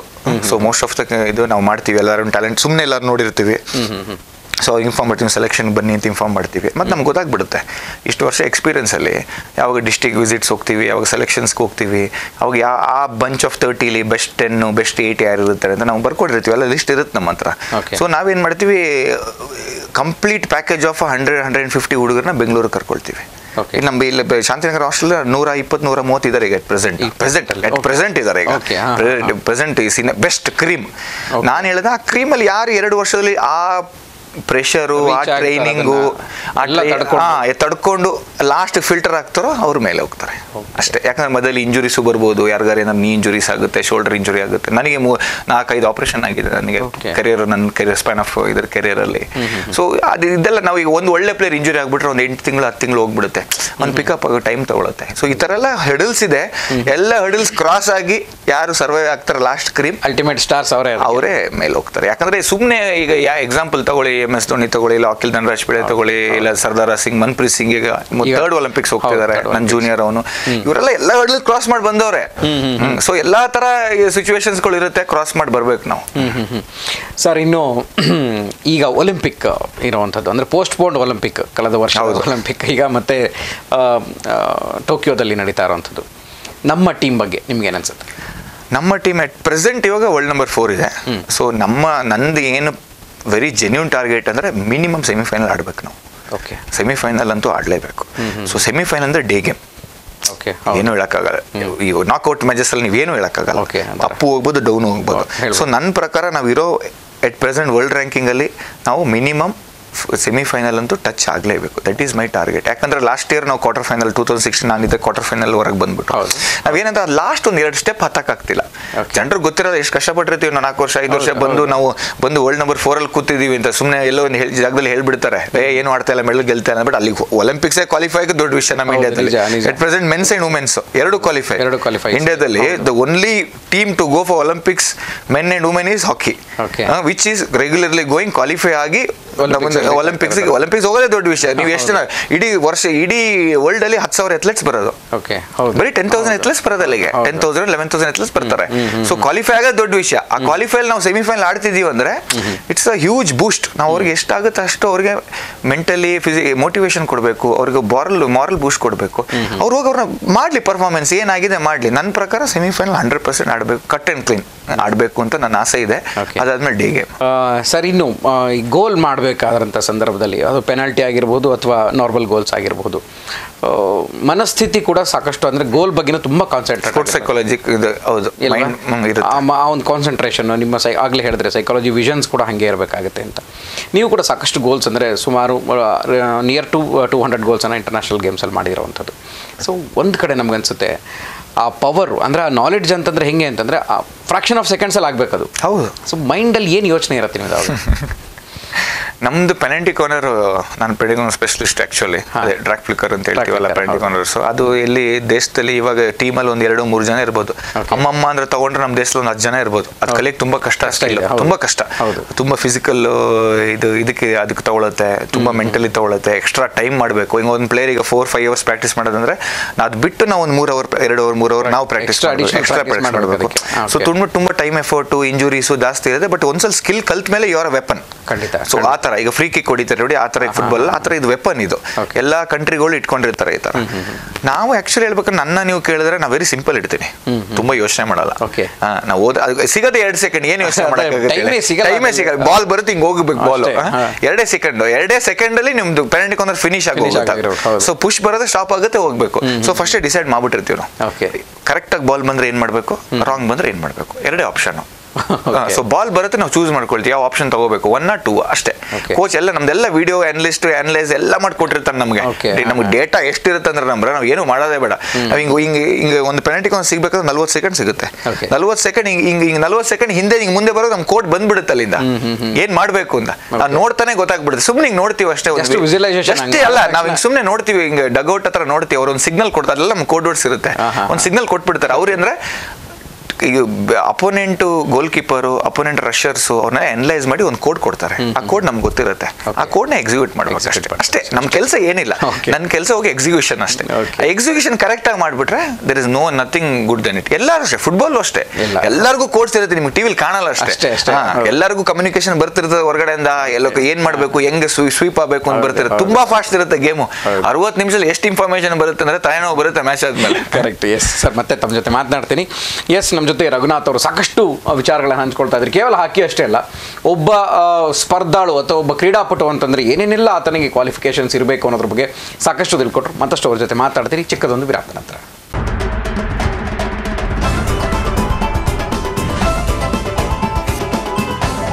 ವಿರಾಮದ ನಂತರ ವಿಶೇಷ ಕಾರ್ಯಕ್ರಮಕ್ಕೆ ಮತ್ತೊಮ್ಮೆ ಸ್ವಾಗತ. ನಮ್ಮ ಜೊತೆ ಇದ್ದಾರೆ ರಘುನಾಥ್ ಅವರು ಕರ್ನಾಟಕ ಹಾಕಿ ಪ್ರತಿಭೆ ಭಾರತದ ಹಾಕಿ ಪ್ರತಿಭೆ. ಮತ್ತೆ ನಾನು ಮಾತನ್ನು ಮುಂದುವರಿಸ್ತೀನಿ. ಸರ್ ಎರಡು ಸಾವಿರದ ಹದಿನೇಳರಲ್ಲಿ ನೀವು ಅಂದರೆ ಪೀಕಲ್ಲಿದ್ದಾಗಲೇ ರಿಟೈರ್ಮೆಂಟ್ ಘೋಷಣೆ ಮಾಡಿದ್ರಿ. ರಿಗ್ರೆಟ್ಸ್ ಏನಾದರೂ ಇದೆಯಾ ಈಗ ಸದ್ಯಕ್ಕೆ? ಇಲ್ಲ ರಿಗ್ರೆಟ್ಸ್ ಏನಿಲ್ಲ. ಆ್ಯಕ್ಚುಲಿ ನಂದೇನು ನಾನು ತುಂಬ ಸ್ಪೋರ್ಟ್ಸಲ್ಲಿ ತುಂಬ ಜನ ರಿಟೈರ್ಮೆಂಟ್ ಆಗೋ ಟೈಮಲ್ಲಿ ಹಾಂ. ಎಸ್ಪೆಷಲಿ ನಿಮ್ಗೆ ಅಷ್ಟು ಇನ್ಫಾರ್ಮೇಷನ್ ಇರುತ್ತೋ ಇಲ್ಲೋ ಗೊತ್ತಿಲ್ಲ. ಏನಾಗುತ್ತೆ ರಿಟೈರ್ಮೆಂಟ್ ಟೈಮಲ್ಲಿ ಯಾವತ್ತೂ ಗುಡ್ ವಿಲಲ್ಲಿ ಹೋಗಲ್ಲ. ಡ್ರಾಪ್ ಮಾಡ್ತಾರೆ ಏನಾರು ಒಂದು ಆಗುತ್ತೆ ತೊಂದರೆ ಆಗುತ್ತೆ. ಅಲ್ಲ ಏನಲ್ಲ. ಫೇಲ್ಯೂರ್ಸ್ ಅಂತಲ್ಲ. ಏನಾರೊಂದು ಏನಾರು ಒಂದು ತೊಂದರೆಗಳು ಬರುತ್ತೆ. ನಾವು ತುಂಬಾ ರಿಟೈರ್ಮೆಂಟ್ ನೋಡ್ತೀವಿ ಜನರದ್ದು ಇದರಲ್ಲಿ ಸರಿಯಾಗಿ ಅವ್ರಿಗೆ ಫೇರ್ವೆಲ್ ಕೊಟ್ಟಿಲ್ಲ ಇವೆಲ್ಲ ಬೇಡ ಅಂತಾನೆ ಹೇಳಿ. ನಾನು ಪೀಕಲ್ಲಿ ಇದ್ದಾಗಲೇ ನಾನು ನಂದು ನಿತ್ತು. ಇಷ್ಟು ವರ್ಷ ನಾನು ಒಂದು ಆಲ್ಮೋಸ್ಟ್ ಹದಿನಾಲ್ಕು ವರ್ಷ ಕೊಟ್ಟಿದ್ದೆ ಟೀಮ್ಗೆ. ಹೌದು. ಹದಿನಾಲ್ಕು ವರ್ಷ ಟೀಮ್ಗೆ ಒಂದು ನಿಮಿಷ ಕೊಟ್ಮೇಲೆ ಅವ್ನು ಬೇಜಾರು ಮಾಡ್ಕೊಂಡು ಹೊರಗೆ ಹೋಗ್ಬಿಡ್ದೆ ಅವತ್ತು. ಒಂದು ಸ್ಪೋರ್ಟ್ಸ್ ಮ್ಯಾನ್ ಖುಷಿಲೇ ಹೋಗ್ಬಿಡ್ಬೇಕು. ಸೊ ನಂದು ಕ್ಲಿಯರ್ ಕಟ್ಟಿತ್ತು ಒಲಿಂಪಿಕ್ಸ್ ಆದ್ಮೇಲೆ ಸೆವೆಂಟೀನಲ್ಲಿ ನಾನು ರಿಟೈರ್ಮೆಂಟ್ ಕೊಡ್ತೀನಿ. ನನ್ನ ನಂದು ಇದರ ಸೈಡಿಂದ ನಾನು ಕ್ಲೀನಾಗಿ ಹೊರಗೆ ಬರಬೇಕು ಅಂತ ನಂದು ಥಿಂಕಿಂಗ್ ಇತ್ತು. ಆ ಥಿಂಕಿಂಗಲ್ಲೇ ಹೊರಗೆ ಬಂದೆ. ರಿಗ್ರೆಟೇ ಮಾಡಲ್ಲ ಸರ್ ಯಾಕಂದ್ರೆ ನಾನು ನೋಡಿದ್ದೀನಿ ಸುಮಾರು ಜನ ನೋಡಿದ್ದೀನಿ ರಿಟೈರ್ಮೆಂಟ್ ಆದವ್ರ ಕತೆಗಳು ಅವ್ರು ಹೇಗಾಗುತ್ತೆ ಲಾಸ್ಟಿಗೆ ಅವ್ರಿಗೆ ಅವ್ರ ಮೇಲೆ ಬ್ಲೇಮ್ ಹಾಕೋದು ಇವ್ರ ಮೇಲೆ ಬ್ಲೇಮ್ ಹಾಕೋದು ಅವ್ರು ಸರಿ ಮಾಡಿಲ್ಲ ಅಂತ ಇವೆಲ್ಲ ತುಂಬ ಆಗುತ್ತೆ ಎಲ್ಲ ಇದರಲ್ಲೂ ಆಗುತ್ತೆ. ಇದಕ್ಕೆಲ್ಲ ಏನು ಪುಲ್ ಸ್ಟಾಪ್ ಆಗ್ಬಿಡು ಸೈಲೆಂಟಾಗಿ ಹೋಗ್ಬೇಕು ಅಂತ ಹೇಳಿ ನಾನು ನಾನು ಫೇರ್ ಆಗಿ ಹೊರಗೆ ಬಂದೆ ನಾನು. ಆಕ್ಚುಲಿ ನಮ್ಮ ಹುಡುಗರಿಗೂ ಆಪರ್ಚುನಿಟಿ ಸಿಕ್ತು. ನಾನು ಒಂದು ವರ್ಷ ಬೇಗನೆ ಹೊರಗೆ ಬಂದ್ಬಿಟ್ಟೆ. ನನ್ನ ಜೂನಿಯರ್ಸ್ ಅವ್ರು ಪಿಕಪ್ ಆದ್ರು ಅವ್ರಿಗೆ ನೆಕ್ಸ್ಟ್ ಲೆವೆಲ್ಗೆ ರೆಡಿ ಆದ್ರು. ಸೊ ಒಂದು ಪೊಸಿಷನ್ ಒಬ್ಬರು ಹದಿನಾಲ್ಕು ವರ್ಷ ಮೇಲೆ ಬಿಟ್ಕೊಡ್ಬೇಕಂದ್ರೆ ಅವರು ಅವ್ರ ಮನಸ್ಸು ಚೆನ್ನಾಗಿರ್ಬೇಕು ತಾನೆ. ಮೈ ಸ್ಟೇಟ್ ಆಫ್ ಮೈಂಡ್ ಚೆನ್ನಾಗಿರ್ಬೇಕು. ಸುಮ್ಮನೆ ಹೋಗ್ಬಿಡಲ್ಲ. ಯಾರು ಯಾರಿಗೂ ಬಿಟ್ಕೊಡಲ್ಲ. ಯಾಕಂದ್ರೆ ಆ ಜಾಗ ಕಷ್ಟ ಕಷ್ಟಪಟ್ಟು ಹೋಗಿರ್ತೀವಿ ನಾವು. ಸೊ ನಾನು ನನ್ನ ಸ್ಟೇಟ್ ಆಫ್ ಮೈಂಡ್ ಕ್ಲೀನ್ ಇದೆ ನಾನು. ಕ್ಲೀನಾಗಿ ಹೊರಗೆ ಬಂದೆ. ಓಕೆ ಸೊ ನೀವು ರಾಜ್ಯ ಹಾಕಿ ಸಂಸ್ಥೆಯ ಈಗ ಉಪಾಧ್ಯಕ್ಷ ಕೂಡ. ಸೊ ನಾನು ಆಗಲೇ ಹೇಳಿದೆ ತುಂಬ ಜವಾಬ್ದಾರಿ ಇದೆ ಅನ್ನುವಂಥದ್ದು. ಸೊ ಒಂದು ಟೀಮನ್ನು ಕಟ್ಟುವಂಥದ್ದು ಸುಲಭದ ಮಾತಲ್ಲ. ನೀವು ಆಗಲೇ ಹೇಳಿದ್ರಿ ನಮ್ಮ ಇನ್ನೂರು ಜನದಲ್ಲಿ ಒಂದು ಹತ್ತು ಜನ ಸಿಗ್ಬೋದು ನಮಗೆ ಕೈಗೆ ಅಂತ. ಹತ್ತು ಜನದಲ್ಲಿ ಟೀಮಿಗೆ ಸೆಲೆಕ್ಟ್ ಆಗುವಂಥವ್ರು. ಅಂದರೆ ಆ ಒಂದು ಡೆಡಿಕೇಶನ್ ಇದ್ದರೆ ಖಂಡಿತವಾಗಿಯೂ ಆಗುತ್ತೆ ಅಂತ. ಸೊ ನಿಮ್ಮ ಕನಸುಗಳು ಅಂತ ಏನಾದರೂ ಇದೆಯಾ? ಇಲ್ಲ ಇಂಥ ಒಂದು ಟೀಮನ್ನು ನಾವು ಬಿಲ್ಡ್ ಮಾಡಬೇಕು. ನ್ಯಾಷನಲ್ ಲೆವೆಲಲ್ಲಿ ಇಂಥ ಒಂದು ಟೀಮನ್ನು ಬಿಲ್ಡ್ ಮಾಡಬೇಕು ಅಂತ ಕನಸು. ನಂದು ಕನಸು ಏನಿಲ್ಲ ಸರ್ ವೆರಿ ಸಿಂಪಲ್ಲು ನಮ್ಮ ಕರ್ನಾಟಕ ಸ್ಟೇಟ್ ಅಂದರೆ ಯಾವತ್ತು ಇಪ್ಪತ್ತರಿಂದ ಮೂವತ್ತು ಪರ್ಸೆಂಟು ಟಿ ಇದು ಇಂಡಿಯನ್ ಟೀಮ್ಗೆ ಕಾಂಟ್ರಿಬ್ಯೂಟ್ ಮಾಡಿದ್ವಿ. ಅಂದರೆ ಮಿನಿಮಮ್ ಮೂರಿಂದ ನಾಲ್ಕು ಪ್ಲೇಯರ್ ಕೊಟ್ಟಿದ್ವಿ. ಓಕೆ ಆಯ್ತಾ? ಅದು ಕಂಟಿನ್ಯೂ ಆಗಬೇಕು ಅಂತ. ಕಂಟಿನ್ಯೂ ಆಗಬೇಕು. ನಾವು ಬಂದ್ಬಿಟ್ಟು ಹೊರಗಡೆ. ಈಗ ನಮ್ಮ ಜೂನಿಯರ್ಸ್ ಅಲ್ಲಿಗೆ ಹೋಗಬೇಕು. ಸೊ ಅವ್ರಿಗೆ ಬೇಕಾಗಿದ್ದ ಗೈಡ್ಲೈನ್ಸ್ ಏನು ಬೇಕು? ಯಾವ ಥರ ಟ್ರೈನಿಂಗ್ ಪ್ರೋಗ್ರಾಮ್ಸು ಯಾವ ತರ ಯಾಕಂದ್ರೆ ನಮ್ಮಂಥವ್ರ ಎಕ್ಸ್ಪೀರಿಯನ್ಸ್ ಅವರೇ ಗೈಡ್ ಮಾಡೋಕ್ಕಾಗೋದು. ಸೊ ಈ ಥರ ಗೈಡ್ ಮಾಡಿ ನಮ್ಮ ಹಿಂದೆ ಒಂದು ಏನಿದೆ ಅದೊಂದು ಸಿನಾರಿಯೋ ಹೋಗ್ತಾನೆ ಇರಲಿ ಕರ್ನಾಟಕದ ಪ್ಲೇಯರ್ಸ್ ಹೋಗ್ತಾನೆ ಇದ್ದಾರೆ ಅದು ಕಂಟಿನ್ಯೂಷನ್ ಇರಬೇಕು ಅಂತ ಒಂದೇ ಒಂದು ಆಸೆ ಸರ್. ಬೇರೆ ಏನಿಲ್ಲ ನಂದು. ನನ್ನ ಫುಲ್ ಎಕ್ಸ್ಪಿ ನಂದು ಏನು ಈ ಹದಿನೈದು ಇಪ್ಪತ್ತು ವರ್ಷದ ಎಕ್ಸ್ಪೀರಿಯನ್ಸ್ ಏನಿದೆ ಎಲ್ಲ ಅವ್ರಿಗೆ ಫ್ರೀ ಆಗಿ ಕೊಡ್ತೀನಿ ನಾನು. ನನಗೆ ಏನು ಇದು ಬೇಡ. ಸೊ ಸೊ ನಮ್ಮ ಕಡೆಯಿಂದ ನಮ್ಮ ಕಡೆಯಿಂದ ಪ್ಲೇಯರ್ಸ್ ಹೋಗ್ತಾ ಇರಲಿ. ಅದೇ ಸಂತೋಷ ಯಾವತ್ತು. ನಮ್ಮ ಹಿಂದೆ ಯಾರೊಬ್ರು ಹೋಗ್ತಾನೆ ಇರಬೇಕು. ಇರ್ಬೇಕು, ಹೋಗ್ತಾನೆ ಇರಬೇಕು. Gap ಆಗ್ಬಾರ್ದು ಆ ಗ್ಯಾಪ್. ಆಗಬಾರ್ದು ಅಂತ ಅದೇ ನಂದು ಮೇನ್ ಮೋಟೋ ಅಷ್ಟೇ ಬೇರೆ ಏನಿಲ್ಲ ಸರ್. ಈಗ ಹತ್ತು ಹದಿಮೂರು ಜಿಲ್ಲೆಗಳಲ್ಲಿ ಈಗ ಹಾಸ್ಟೆಲ್ ಅಂತ ಹೇಳಿದ್ರಿ. ಸೊ ಟೂರ್ನಿಗಳನ್ನು ಆಯೋಜನೆ ಮಾಡುವಂಥದ್ದು ಕೂಡ ತುಂಬ ಮುಖ್ಯ. ಅಂದರೆ ಪ್ರತಿಭೆ ಗೊತ್ತಾಗಬೇಕು ಎಲ್ಲಿದೆ. ಅಂದರೆ ಪ್ರತಿ ಡಿಸ್ಟಿಕ್ ಡಿಸ್ಟಿಕ್ನಲ್ಲಿ ಅಥವಾ ನಿಮ್ಮ ಹಾಗೆ. ಯಾಕೆಂದರೆ ಕೊಡಗಿನಲ್ಲಿ ತ ಸಾಕಷ್ಟು. ಅಂದರೆ ಕೂರ್ಗ್ನಲ್ಲಿ ಅದ್ರ ಬಗ್ಗೆ ತುಂಬ ಕಾನ್ಸಂಟ್ರೇಷನ್ ಜಾಸ್ತಿ. ಫುಟ್ಬಾಲ್ ಆಗಲಿ ಹಾಕಿ ಆಗಲಿ ಬೇರೆ ಕ್ರೀಡೆಗಳಾಗಲಿ ಜಾಸ್ತಿ ಅಂತ. ಅಂದರೆ ಎಲ್ಲ ಜಿಲ್ಲೆಗಳಲ್ಲೂ ಕೂಡ ಅದು ರೀಚ್ ಆಗಬೇಕು ಅನ್ನೋಂಥದ್ರಲ್ಲಿ ಸರ್ಕಾರದ ಕಡೆಯಿಂದ ಮತ್ತು ಹಾಕಿ ಸಂಸ್ಥೆಯಿಂದ ಏನಾದರೂ ಯೋಜನೆಗಳಿದಾವೆ ಅಂತ. ಇದೆ. ನಾವು ನಮ್ಮ ಕಡೆಯಿಂದ ಎಲ್ಲ ಡಿಸ್ಟಿಕ್ಕು ಇಂಟಿಮೇಷನ್ ಕೊಡ್ತೀವಿ. ಈಗ ನೋಡಿ ಒಂದು ಸ್ಟೇಟ್ ಆರ್ಗನೈಸೇಷನ್ ಅಂತ ಹೇಳಿದ್ಮೇಲೆ ನಮ್ದು ಫಸ್ಟ್ ಕೆಲಸ ಡಿಸ್ಟಿಕ್ ಆರ್ಗನೈಸೇಷನ್ಗೆ ಇನ್ಫಾರ್ಮೇಷನ್ ಕೊಡೋದು. ಡಿಸ್ಟಿಕ್ ಡಿಸ್ಟಿಕ್ ಆರ್ಗನೈಸೇಷನ್ ಅಲ್ಲಿಂದ ಸ್ಪ್ರೆಡ್ ಮಾಡ್ತಾರೆ ಆ್ಯಡ್ಸು ಅವ್ರದ್ದು ಎಲ್ಲ ಇರುತ್ತೆ ಅವ್ರದ್ದು ಪರ್ಸನಲ್ ಮೇಲ್ಸು ಯಾವ ಆರ್ಗನೈಸೇಷನು ಡಿಪಾರ್ಟ್ಮೆಂಟ್ಸು ಯೂನಿವರ್ಸಿಟಿ ಸ್ಕೂಲು ಎಲ್ಲದಕ್ಕೂ ಹೋಗುತ್ತೆ. ಇನ್ಫಾರ್ಮೇಷನ್ ಏನು ತೊಂದರೆ ಆಗಲ್ಲ. ಇವಾಗೆಲ್ಲ ತುಂಬಾ ಫಾಸ್ಟ್ ಆಗಿಬಿಟ್ಟಿದೆ. ಈಗ ಒಂದು ವಾಟ್ಸ್ಆಪ್ ಅಲ್ಲಿ ಕಳ್ತಾರೆ ಸಾಕು. ನಮ್ದೆಲ್ಲ ಗ್ರೂಪ್ಸಿಗೆ ಎಷ್ಟಿದೆ ಅಂದ್ರೆ ಒಂದು ವಾಟ್ಸಪ್ ನಮ್ದು ನಮ್ದು ಇದು ಪೇಜಲ್ಲೋ ಇಲ್ಲಾಂದ್ರೆ ನಮ್ಮ ವೆಬ್ಸೈಟ್ ಅಲ್ಲಿ ಹಾಕ್ತಾ ಇರ್ತೀವಿ. ಈಸಿ ಅಫಿಷಿಯಲ್ ಆಗಿ ಹೋಗುತ್ತೆ. ಏನಂದ್ರೆ ಎಷ್ಟು ಮಕ್ಳಿಗೆ ಇಂಟ್ರೆಸ್ಟ್ ಇದೆ ಆಡ್ಲಿಕ್ಕೆ ಎಷ್ಟು ಅದನ್ನ ತಗೊಳ್ತಾರೆ ಅದು ಇಂಪಾರ್ಟೆಂಟ್ ಆಗುತ್ತೆ. ಬಟ್ ಟೂರ್ನಮೆಂಟ್ ತುಂಬಾ ಆಗುತ್ತೆ ಆಕ್ಚುಲಿ ಹೇಳ್ಬೇಕಂದ್ರೆ. ಆಕ್ಚುಲಿ ಕೋವಿಡ್ ಇಂದ ಲಾಸ್ಟ್ ಒಂದು ಏಯ್ಟೀನ್ ಟ್ವೆಂಟಿ ಮಂತ್ಸ್ ಕಮ್ಮಿ ಆಗಿದೆ ಏನು ಮಾಡೋಕ್ಕಾಗಿಲ್ಲ. ಆಗಿಲ್ಲ ಯಾಕಂದ್ರೆ ಪ್ರೋಟೋಕಾಲ್ ಗೌರ್ಮೆಂಟ್ ಪ್ರೋಟೋಕಾಲ್ ಆ ಥರ ಇರೋದ್ರಿಂದ ನಾವೇನು ಮಾಡೋಕ್ಕೂ ಆಗಲ್ಲ. ಬಟ್ ಟೂರ್ನಮೆಂಟ್ ಚೆನ್ನಾಗಿದೆ. ಸ್ವಲ್ಪ ಅಂದ್ರೆ ಇವಾಗ ಸ್ವಲ್ಪ ಅವ್ರಿಗೆ ರಿಲ್ಯಾಕ್ಸ್ ಕೊಟ್ಟಿದ್ರೆ ಬರೀ ಕ್ರೀಡಾಪಟುಗಳು ಮಾತ್ರ ಪ್ರಾಕ್ಟೀಸ್ ಅಷ್ಟೇ ಇವಾಗ ಒಂದು ನಾವು ಅಕ್ಟೋಬರ್ ನವಂಬರ್ ಒಳಗೆ ಏನು ಥರ್ಡ್ ವೇವ್ ಏನು ಬರದೆ ಚೆನ್ನಾಗಿದ್ದರೆ ಎವ್ರಿಥಿಂಗ್ ವಿಲ್ ಬಿ ನಾರ್ಮಲೈಸ್ಡ್ ಚೆನ್ನಾಗಾಗುತ್ತೆ. ಇನ್ನು ಕೊನೆಯದಾಗಿ ಕೇಳಲೇಬೇಕು ಧ್ಯಾನ್ ಧ್ಯಾನಚಂದ್ ಅವರ ಬಗ್ಗೆ ತಮ್ಮ ಅಭಿಪ್ರಾಯ. ಯಾಕೆಂದರೆ ನೀವು ಒಂದು ರೀತಿಯ ಅವ್ರನ್ನ ಗುರುವಾಗಿ ಸ್ವೀಕರಿಸಿ ಏಕಲವ್ಯಂತರ ಥರ ಸಾಧನೆ ಮಾಡಿರುವಂಥವ್ರು. ಹೌದು ಅಲ್ಟಿಮೇಟ್ ಆಗಿ ಧ್ಯಾನ್ ಚಂದ್ ಯಾವತ್ತು ನಮಗೆ ಮೋಟಿವೇಶನ್ ಫಸ್ಟ್ ಮೋಟಿವೇಶನ್ಗೆ ಇದ್ದೇ ಇರ್ತಾರೆ ಯಾವತ್ತು. C is a godfather ಅವ್ರು ಯಾರು ಟಚ್ ಮಾಡೋಕ್ಕಾಗಲ್ಲ ಅವ್ರ ಅಚೀವ್ಮೆಂಟ್ಸ್ ಅಚೀವ್ ಮಾಡೋಕ್ಕಾಗಲ್ಲ. ಎಲ್ಲೋ ಅವರು ಕಾಲ್ದು ಒಂದು ಬೆರಳಷ್ಟು ನಾವೆಲ್ಲ ಒಂಚೂರು ಟಚ್ ಮಾಡಿ ಬಂದಿದ್ದೀವಿ. ಅದೇ ಒಂದು ಸಂತೋಷ. ಅದನ್ನ ನಾವು ಮಕ್ಕಳಿಗೆ ಎಕ್ಸ್ಪ್ಲೈನ್ ಮಾಡಿ ನಮ್ಮ ನಮ್ಮಂದೆ ಯಾವ್ದಾದ್ರು ಮೋಟಿವೇಶನ್ ತಗೊಂಡು ಯಾರು ಮುಂದೆ ಹೋಗಲಿ ಅಂತ ಅಷ್ಟೇ ಆಸೆ. ನಮಗೇನಿಲ್ಲ ನಮ್ಮ ನಮ್ಮ ಸೊಸೈಟಿಗೆ ವಾಪಸ್ ಕೊಡಬೇಕು ನಮ್ಮ ಪ್ಲೇಯರ್ಸಿಗೆ. ಪ್ಲೇಯರ್ಸಿಗೆ ವಾಪಸ್ ಕೊಡಬೇಕು. ಯಾಕಂದ್ರೆ ನಾವು ಈ ಅದನ್ನ ಇಟ್ಕೊಂಡು ಏನು ಮಾಡೋಕ್ಕಾಗಲ್ಲ. ಸೊ ಕೊಡಲೇಬೇಕು ಅದು ವಾಪಸ್ ನಮ್ಮ ಇನ್ಫಾರ್ಮೇಷನ್ ನಮ್ಮ ಎಕ್ಸ್ಪೀರಿಯನ್ಸು ನಾವು ಅವ್ರಿಗೆ ಹೇಳಿದ್ರೆ ತಾನೇ ಅರ್ಥ ಆಗೋದು. ಸೊ ಕೊಟ್ಟು ಅವರು ಬೆಳೀಲಿ ಅಂತ ನಮ್ಮ ಜೊತೆ ಅವರು ಬೆಳೀಲಿ ಅಂತ ನಮ್ಮ ಆಸೆ ಇದೆ. ಗೌರ್ಮೆಂಟ್ ಯಾವ ರೀತಿ ಸಪೋರ್ಟ್ ಇದೆ ಚೆನ್ನಾಗಿದೆ ಸರ್. ಗೌರ್ಮೆಂಟ್ ತುಂಬ ಚೆನ್ನಾಗಿದೆ. ಆ್ಯಕ್ಚುಲಿ ಹೇಳ್ಬೇಕಂದ್ರೆ ನಾನೇ ಕ್ಲೋಸ್ ಆಗಿ ಡೀಲ್ ಮಾಡ್ತೀನಿ ಇವಾಗ ಗೌರ್ಮೆಂಟ್ ಜೊತೆ. ಏನೇ ಪ್ರೋಟೋಕಾಲ್ಸ್ ಇದ್ರು ಏನೇ ಇದ್ರು ನಾ ಗೌರ್ಮೆಂಟ್ ಜೊತೆ. ತುಂಬ ಚೆನ್ನಾಗಿದೆ ಸ್ಕೀಮ್ಸ್ ಎಲ್ಲ. ಮಕ್ಕಳಿಗೆ ಏನು ತೊಂದರೆ ಇಲ್ಲ. ನಾನು ಹೇಳೋದು ಪೇರೆಂಟ್ಸ್ಗೆ ಅರ್ಥ ಮಾಡ್ಕೊಳ್ಳಿ. ಕಲೀರಿ. ಸ್ಪೋರ್ಟ್ಸ್ ಪಾಲಿಸಿ ಕರ್ನಾಟಕದಲ್ಲಿ ಯಾವ ಥರ ಇದೆ ಅಂತ ಕಲೀರಿ. ಓಕೆ ಅದು ಕಲ್ತ್ಕೋಬೇಕು. ಅಟ್ಲೀಸ್ಟ್ ಗೊತ್ತಿಲ್ಲ ಅಂದ್ರೂ ಕಲ್ತ್ಕೊಳ್ಳಿ. ಯಾಕಂದ್ರೆ ಎಲ್ಲ ನನ್ನ ನನಗೆ ಏನು ಒಂದು ಬೇಜಾರಾಗುತ್ತೆ ಅಂದ್ರೆ ಯಾವ ಇಂಜಿನಿಯರಿಂಗ್ ಕಾಲೇಜ್ ಯಾವ ಎಂ ಬಿ ಎ ಯಾವ ಪರ್ತಲ್ಲಿ ಯಾವ ಯೂನಿವರ್ಸಿಟಿ ಇದೆ ಯಾವ ಆಸ್ಟ್ರೇಲಿಯಾದಲ್ಲಿ ಯಾವ್ದು ಯೂನಿವರ್ಸಿಟಿ ಇಂಗ್ಲೆಂಡಲ್ಲಿ ಇದೆ ಎಲ್ಲ ಗೊತ್ತಿದೆ. ಜನರಿಗೆ ಹುಡುಕ್ತಾರೆ. ನಾನು ಹೇಳಿದ್ರೆ ನಮ್ಮ ಕರ್ನಾಟಕ ಡಿಸ್ಟ್ರಿಕ್ಟ್ ಒಳಗಡೆ ನಮ್ಮ ಕರ್ನಾಟಕ ಸ್ಟೇಟ್ ಒಳಗಡೆ ಏನು ಸ್ಪೋರ್ಟ್ಸ್ ಪಾಲಿಸಿ ಇದೆ ಅಂತ ಕಲ್ತ್ಕೊಳ್ಳಿ. ನಿಮ್ಮ ಮಕ್ಕಳಿಗೆ ಏನು ಹೆಲ್ಪ್ ಆಗುತ್ತೆ? ಸ್ಪೋರ್ಟ್ಸ್ ಆಡ್ಸಿದ್ರೆ ಇಲ್ಲ ಅದ್ರಲ್ಲಿ ಏನು ಏನು ನಿಮಗೆ ಎಕ್ಸಾಂಪಲ್ ಏನು ನಿಮ್ಗೆ ತಗೋಬೋದು ಪಾಸಿಟಿವ್ ಆಗಿ ಅಂತ ಅರ್ಥ ಮಾಡ್ಕೊಳ್ಳಿ. ಮತ್ತೆ ಎಷ್ಟು ಫ್ರೀ ಎಜುಕೇಶನ್ಸ್ ಮತ್ತೆ ಈ ನಾವೀಗ ರೂರಲ್ ತಗೊಳ್ತೀವಲ್ಲ ಅವ್ರಿಗೆಲ್ಲ ಒಳ್ಳೆ ಒಳ್ಳೆ ಕಾಲೇಜ್ಗೆಲ್ಲ ಇದು ಏನು ಹೇಳಿ ಅಡ್ಮಿಷನ್ ಸಿಗಲ್ಲ. ಸ್ಪೋರ್ಟ್ಸ್ ಅಂತ ಸಿಗೋದು. ಈಗ ನಮ್ಮ ಸೆಂಟ್ ಜೋಸೆಫ್ಸ್ ಆಗಲಿ ಜೈನ್ ಆಗಲಿ ಸುರಣ ಆಗಲಿ ಸುಮಾರು ಕಾಲೇಜುಗಳು ಸಹ ಟೈಅಪ್ ಇದೆ ನಮಗೆ ಬೆಂಗಳೂರಲ್ಲಿ ಇಂಥ ಕಾಲೇಜಸ್ ಸಿಗೋದು? ಅವರು ಕಾಲೇಜವರು ನಮಗೆ ಸಪೋರ್ಟ್ ಮಾಡ್ತಾರೆ ಇದು ಏನು ಹೇಳಿ ಫೀಸ್ ವೇ ಆಫ್ ಮಾಡ್ತಾರೆ ಅವ್ರಿಗೆ ಟೀಮ್ಸ್ ಕಾಲೇಜ್ ಟೀಮ್ಸ್ ಇದು ಮಾಡಿ ಅವ್ರಿಗೆ ಫ್ಯೂಚರ್ ಎಜುಕೇಷನ್ಗೆ ಅವ್ರಿಗೆ ಹೆಲ್ಪ್ ಮಾಡ್ತಾರೆ. ತುಂಬಾ ಸ್ಕೀಮ್ಗಳಿದೆ ಅಂದ್ರೆ ಕಲ್ತ್ಕೊಳ್ಳಿ. ಇದು ಹಾಕಿ ಅಂತ ಹೇಳ್ತಾ ಇಲ್ಲ ಸರ್ ನಾನು. ನೀವು ತಪ್ಪು ತಿಳ್ಕೊಬಾರ್ದು. ಎಲ್ಲ- ಹಾಕಿ ಎಲ್ಲ- ಎಲ್ಲ ಗೇಮ್ ಎಲ್ಲದಕ್ಕೂ-. ಇನ್ಕ್ಲೂಡಿಂಗ್ ಕ್ಯಾರಮ್ ಇದೆ ಸರ್ ನೀವು ಹೇಳ್ಬೇಕಂದ್ರೆ ಇನ್ಕ್ಲೂಡಿಂಗ್ ಕ್ಯಾರಮ್ ಇದೆ ಚೆಸ್ ಇದೆ ಸ್ನೂಕರ್ ಇದೆ ಬಿಲಿಯರ್ಡ್ಸ್ ಇದೆ. ಹೌದು ಹೌದು. ನಾ ಹೇಳ್ತಾ ಇರೋದು ಬೇರೆದೆಲ್ಲ ಬಿಟ್ಬಿಡಿ. Outdoor games contact games international games ಅದೆಲ್ಲ. ಅಲ್ಲಲ್ಲ ಇದು ಈ- ಈಗಳು ಇದಕ್ಕೊಳಗೂ ಸ್ಕೀಮ್ ಇದೆ ನಮ್ಮ ಕರ್ನಾಟಕದಲ್ಲಿ. ಸೊ ಯೂಸ್ ಮಾಡ್ಕೊಳ್ಳಿ. ಅರ್ಥ ಮಾಡ್ಕೊಳ್ಳಿ. ಆಡಿ. ಸೊ ಬೆಳೀಲಿ ಎಲ್ಲ ಯಾವ ಎಲ್ಲ ರೀತಿಲಿ ಬೆಳೀಲಿ. ಬ್ಯಾಡ್ಮಿಂಟನ್ ಹಾಕಿ ಇವಕ್ಕೆಲ್ಲ ಇದೆ ಬಿಡಿ. ಹೇಳ್ತಿರೋದು ಈ ಇಂಡೋರ್ ಗೇಮ್ಸು ಟಿ ಟಿ ಇದಕ್ಕೂ ಇದೆ. ಬಟ್ ಈ ಸ್ಮಾಲ್ ಇಂಥ ಗೇಮ್ಸ್ಗಳಿಗೂ ಇದೆ. ಸೊ ಅರ್ಥ ಮಾಡ್ಕೊಳ್ಳಿ ಕಲೀರಿ. ಅರ್ಥ ಮಾಡ್ಕೊಳ್ಳಿ ಅಂತ ಹೇಳೋಕ್ಕೆ ನಾನು ಪೇರೆಂಟ್ಸ್ಗೆ ಇಷ್ಟಪಡ್ತೇನೆ. ಓಕೆ ಟು ತೌಸಂಡ್ ಸಿಕ್ಸ್ಟೀನಲ್ಲಿ ನೀವು ರಿಯೋ ಡಿ ಜನೈರೋನಲ್ಲಿ ಭಾಗವಹಿಸಿದ್ರಿ ಒಲಿಂಪಿಕ್ನಲ್ಲಿ ಸೊ ಈಗ ಟು ತೌಸಂಡ್ ಟ್ವೆಂಟಿ ಒನ್ನಲ್ಲಿ ಟೋಕಿಯೋದಲ್ಲಿ ನಡೀತಾ ಇದೆ. ಸೊ ಏನು ವಿಶ್ ಮಾಡ್ತೀರಿ ನಮ್ಮ ಟೀಮ್ಗೆ ಜೊತೆಗೆ ಒಲಿಂಪಿಕ್ಸ್ಗೆ ನಮ್ಮ ಸ್ಪೋರ್ಟ್ಸ್ಮನ್ಗಳಿಗೆ ನನ್ನ ಮೆನ್ಸ್ ವುಮೆನ್ಸ್ ಎರಡು ಟೀಮ್ಗೂ. ವೆರಿ ಗುಡ್ ಲಕ್ ನಿಮ್ದೇನಿದೆ ಬೆಸ್ಟ್ ಮಾಡಿ ಬನ್ನಿ ಪ್ಲಸ್ ನಾನು ಏನು ಬಿಟ್ಟಿದೆ ಅದನ್ನ ನೆರವೇರಿಸಿ ಬನ್ನಿ. ನಾನು ಕ್ವಾರ್ಟರ್ ಫೈನಲ್. ಬಿಟ್ಟಿದ್ದೆ. ನಾನು ಕ್ವಾರ್ಟರ್ ಫೈನಲ್ ಬಿಟ್ಟಿದ್ದೆ. ನೀವು ಒಂದು ಎರಡು ಸ್ಟೆಪ್ ಮೇಲ್ಗೆ ಹತ್ಬಿಡಿ ಮೆಡಲ್ ಪೋಡಿಯಂಗೆ ಹತ್ಬಿಡಿ. ಅಷ್ಟೇ ನಮ್ಗೆ ಅವತ್ತೇ ದಿವಾಳಿ? ಹತ್ಬಿಟ್ರೆ? ಈ ಎರಡು ಸ್ಟೆಪ್ ಹತ್ ಹತ್ಬಿಟ್ಟು ಬರಲಿ ವಾಪಸ್ ಅಂತ ನಮ್ಮ ಆಶ್ರಯ ಇರುತ್ತೆ. ಚೆನ್ನಾಗಿ ಪರ್ಫಾರ್ಮ್ ಮಾಡ್ತಾರೆ ಅಂತ ನಾನು. ಚಾಲೆಂಜ್ ಇರುತ್ತೆ ಬೇರೆ ಟೀಮ್ ಹಂಡ್ರೆಡ್ ಪರ್ಸೆಂಟ್ ಇರುತ್ತೆ. ಯಾರು ಸರ್ ಒಲಿಂಪಿಕ್ಸ್ ಅಲ್ಲಿ ಏನು ಇದಾಗ ಹೋಗ್ತಾರೆ ನಮಗೆ ನಮಗೆ ಅಟ್ಲೀಸ್ಟ್ ಟಫ್ ಕಂಟೆಂಡರ್ ಅಂತ ಅಪೋಸಿಟ್ ಕಂಟೆಂಡರ್ ಯಾರು ಇರ್ಬೋದು? ಎಲ್ಲ ಇದ್ದಾರೆ ಬೆಲ್ಜಿಯಂ ಇದ್ದಾರೆ ಆಸ್ಟ್ರೇಲಿಯಾ ಇದ್ದಾರೆ ಆಮೇಲೆ ಹಾಲೆಂಡ್ ಇದ್ದಾರೆ ಅರ್ಜೆಂಟೀನಾ ಇದ್ದಾರೆ Argentina last Olympics gold medallist. Winners ಈಗ ಹಾಲೆಂಡ್ ಯೂರೋ ಚಾಂಪಿಯನ್ಶಿಪ್ ಇದು. ನಾವು ಏಷ್ಯಾ ನಂಬರ್ ಒನ್ ಸೊ ಎಲ್ಲ ಎಲ್ಲ ಚಾಲೆಂಜಸ್ ಇದೆ. ಸೊ ಗಾಡ್ ವಿಲ್ ಚೆನ್ನಾಗಿ ನಾವು ದಿ ಬೆಸ್ಟ್ ಮಾಡಬೇಕು ನಾವು ಕೆಲಸ. ಅಷ್ಟೇ ದಿ ಬೆಸ್ಟ್ ಮಾಡ್ಲೇಬೇಕು. ಅಲ್ಲಿ ಏನಿಲ್ಲ ಸರ್ ಅಪ್ಪ ಇಲ್ಲ ಅಮ್ಮ ಇಲ್ಲ ಅಕ್ಕ ತಂಗಿ ಯಾರು ನೋಡಲ್ಲ ಸರ್ ಅಣ್ಣ ತಮ್ಮ ಅಂತ. ನೀವು ನೀವು ಕಂಟ್ರಿಗೆ ಒಂದ್ಸಲ ಹೋದ್ಮೇಲೆ ಮುಗೀತಲ್ಲ ವಾರೆ. ಒಂದ್ಸಲ ಗ್ರೌಂಡ್ ನುಗ್ದ್ಮೇಲೆ ಅಲ್ಲಿ ನೀವು ಯಾರು ಅಪೋನೆಂಟ್ ಅಂತ ಯಾರೆಲ್ಲ ನೋಡಲ್ಲ. ಏ ಅದು ನೀವು ಕೆಲಸ ಮಾಡಕ್ ಕಲ್ಸಿದ್ರೆ ಆ ಕೆಲಸ ಮುಗಿಸ್ ಬರ್ಬೇಕಷ್ಟೇ. ನೀವು ನೀವು ನೀವು ದೇಶ ಕಡೆಯಿಂದ ಹೋಗ್ತಿರುವಾಗ ಅದು ಬೇರೆನೇ ಪೆಟ್ರೋಲಿಯಂ ಬೇರೆನೇ ಇರುತ್ತೆ ಅಲ್ಲಿ. Okay okay thank you Raghunath ಅವರೇ. ಸಾಕಷ್ಟು ವಿಚಾರ ಮಾತಾಡಿದ್ರಿ. ಹಾಕಿ ಬಗ್ಗೆ thank you thank you sir thank you. Thank you so much ನಿಮ್ಮ ನೇತೃತ್ವದಲ್ಲಿ ಮತ್ತಷ್ಟು ಪ್ರತಿಭೆಗಳು ನಿಮ್ಮಂತೆಯೇ ಪ್ರತಿಭೆಗಳು ಹೊರಹೊಮ್ಮಲಿ ಅಂತ ನಾವು ಕೂಡ ಹೌದು ನಿಮ್ಮ ಚಾನೆಲ್ ಬೆಳೀಲಿ ಸಂತೋಷ. ನನ್ನ ಕಡೆಯಿಂದ ಯಾವುದೇ ರೀತಿ ಹೆಲ್ಪ್ ಬೇಕಂದ್ರೆ ಮಾಡ್ತೀನಿ. ಖಂಡಿತ sir thank you sir thank you sir yes ವೀಕ್ಷಕರೇ ನೋಡಿದ್ರಲ್ಲ ವಿ ಆರ್ ರಘುನಾಥ್ ಅವ್ರ ಜೊತೆ ನಾವು ಮಾತನಾಡಿದ್ವಿ. ಕರ್ನಾಟಕದ ಪ್ರತಿಭೆ ಹಾಕಿಯ ದೈತ್ಯ ಪ್ರತಿಭೆ.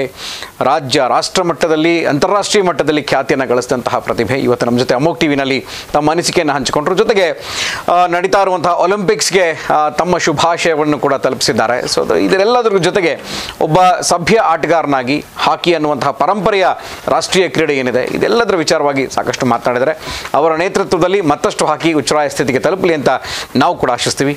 ಇದು ಇವತ್ತಿನ ವಿಶೇಷ. ನೋಡ್ತಾರೆ ಅಮೋಕ್ ಟಿವಿ ಎಂದೆಂದಿಗೂ ನಿಮ್ಮೊಂದಿಗೆ.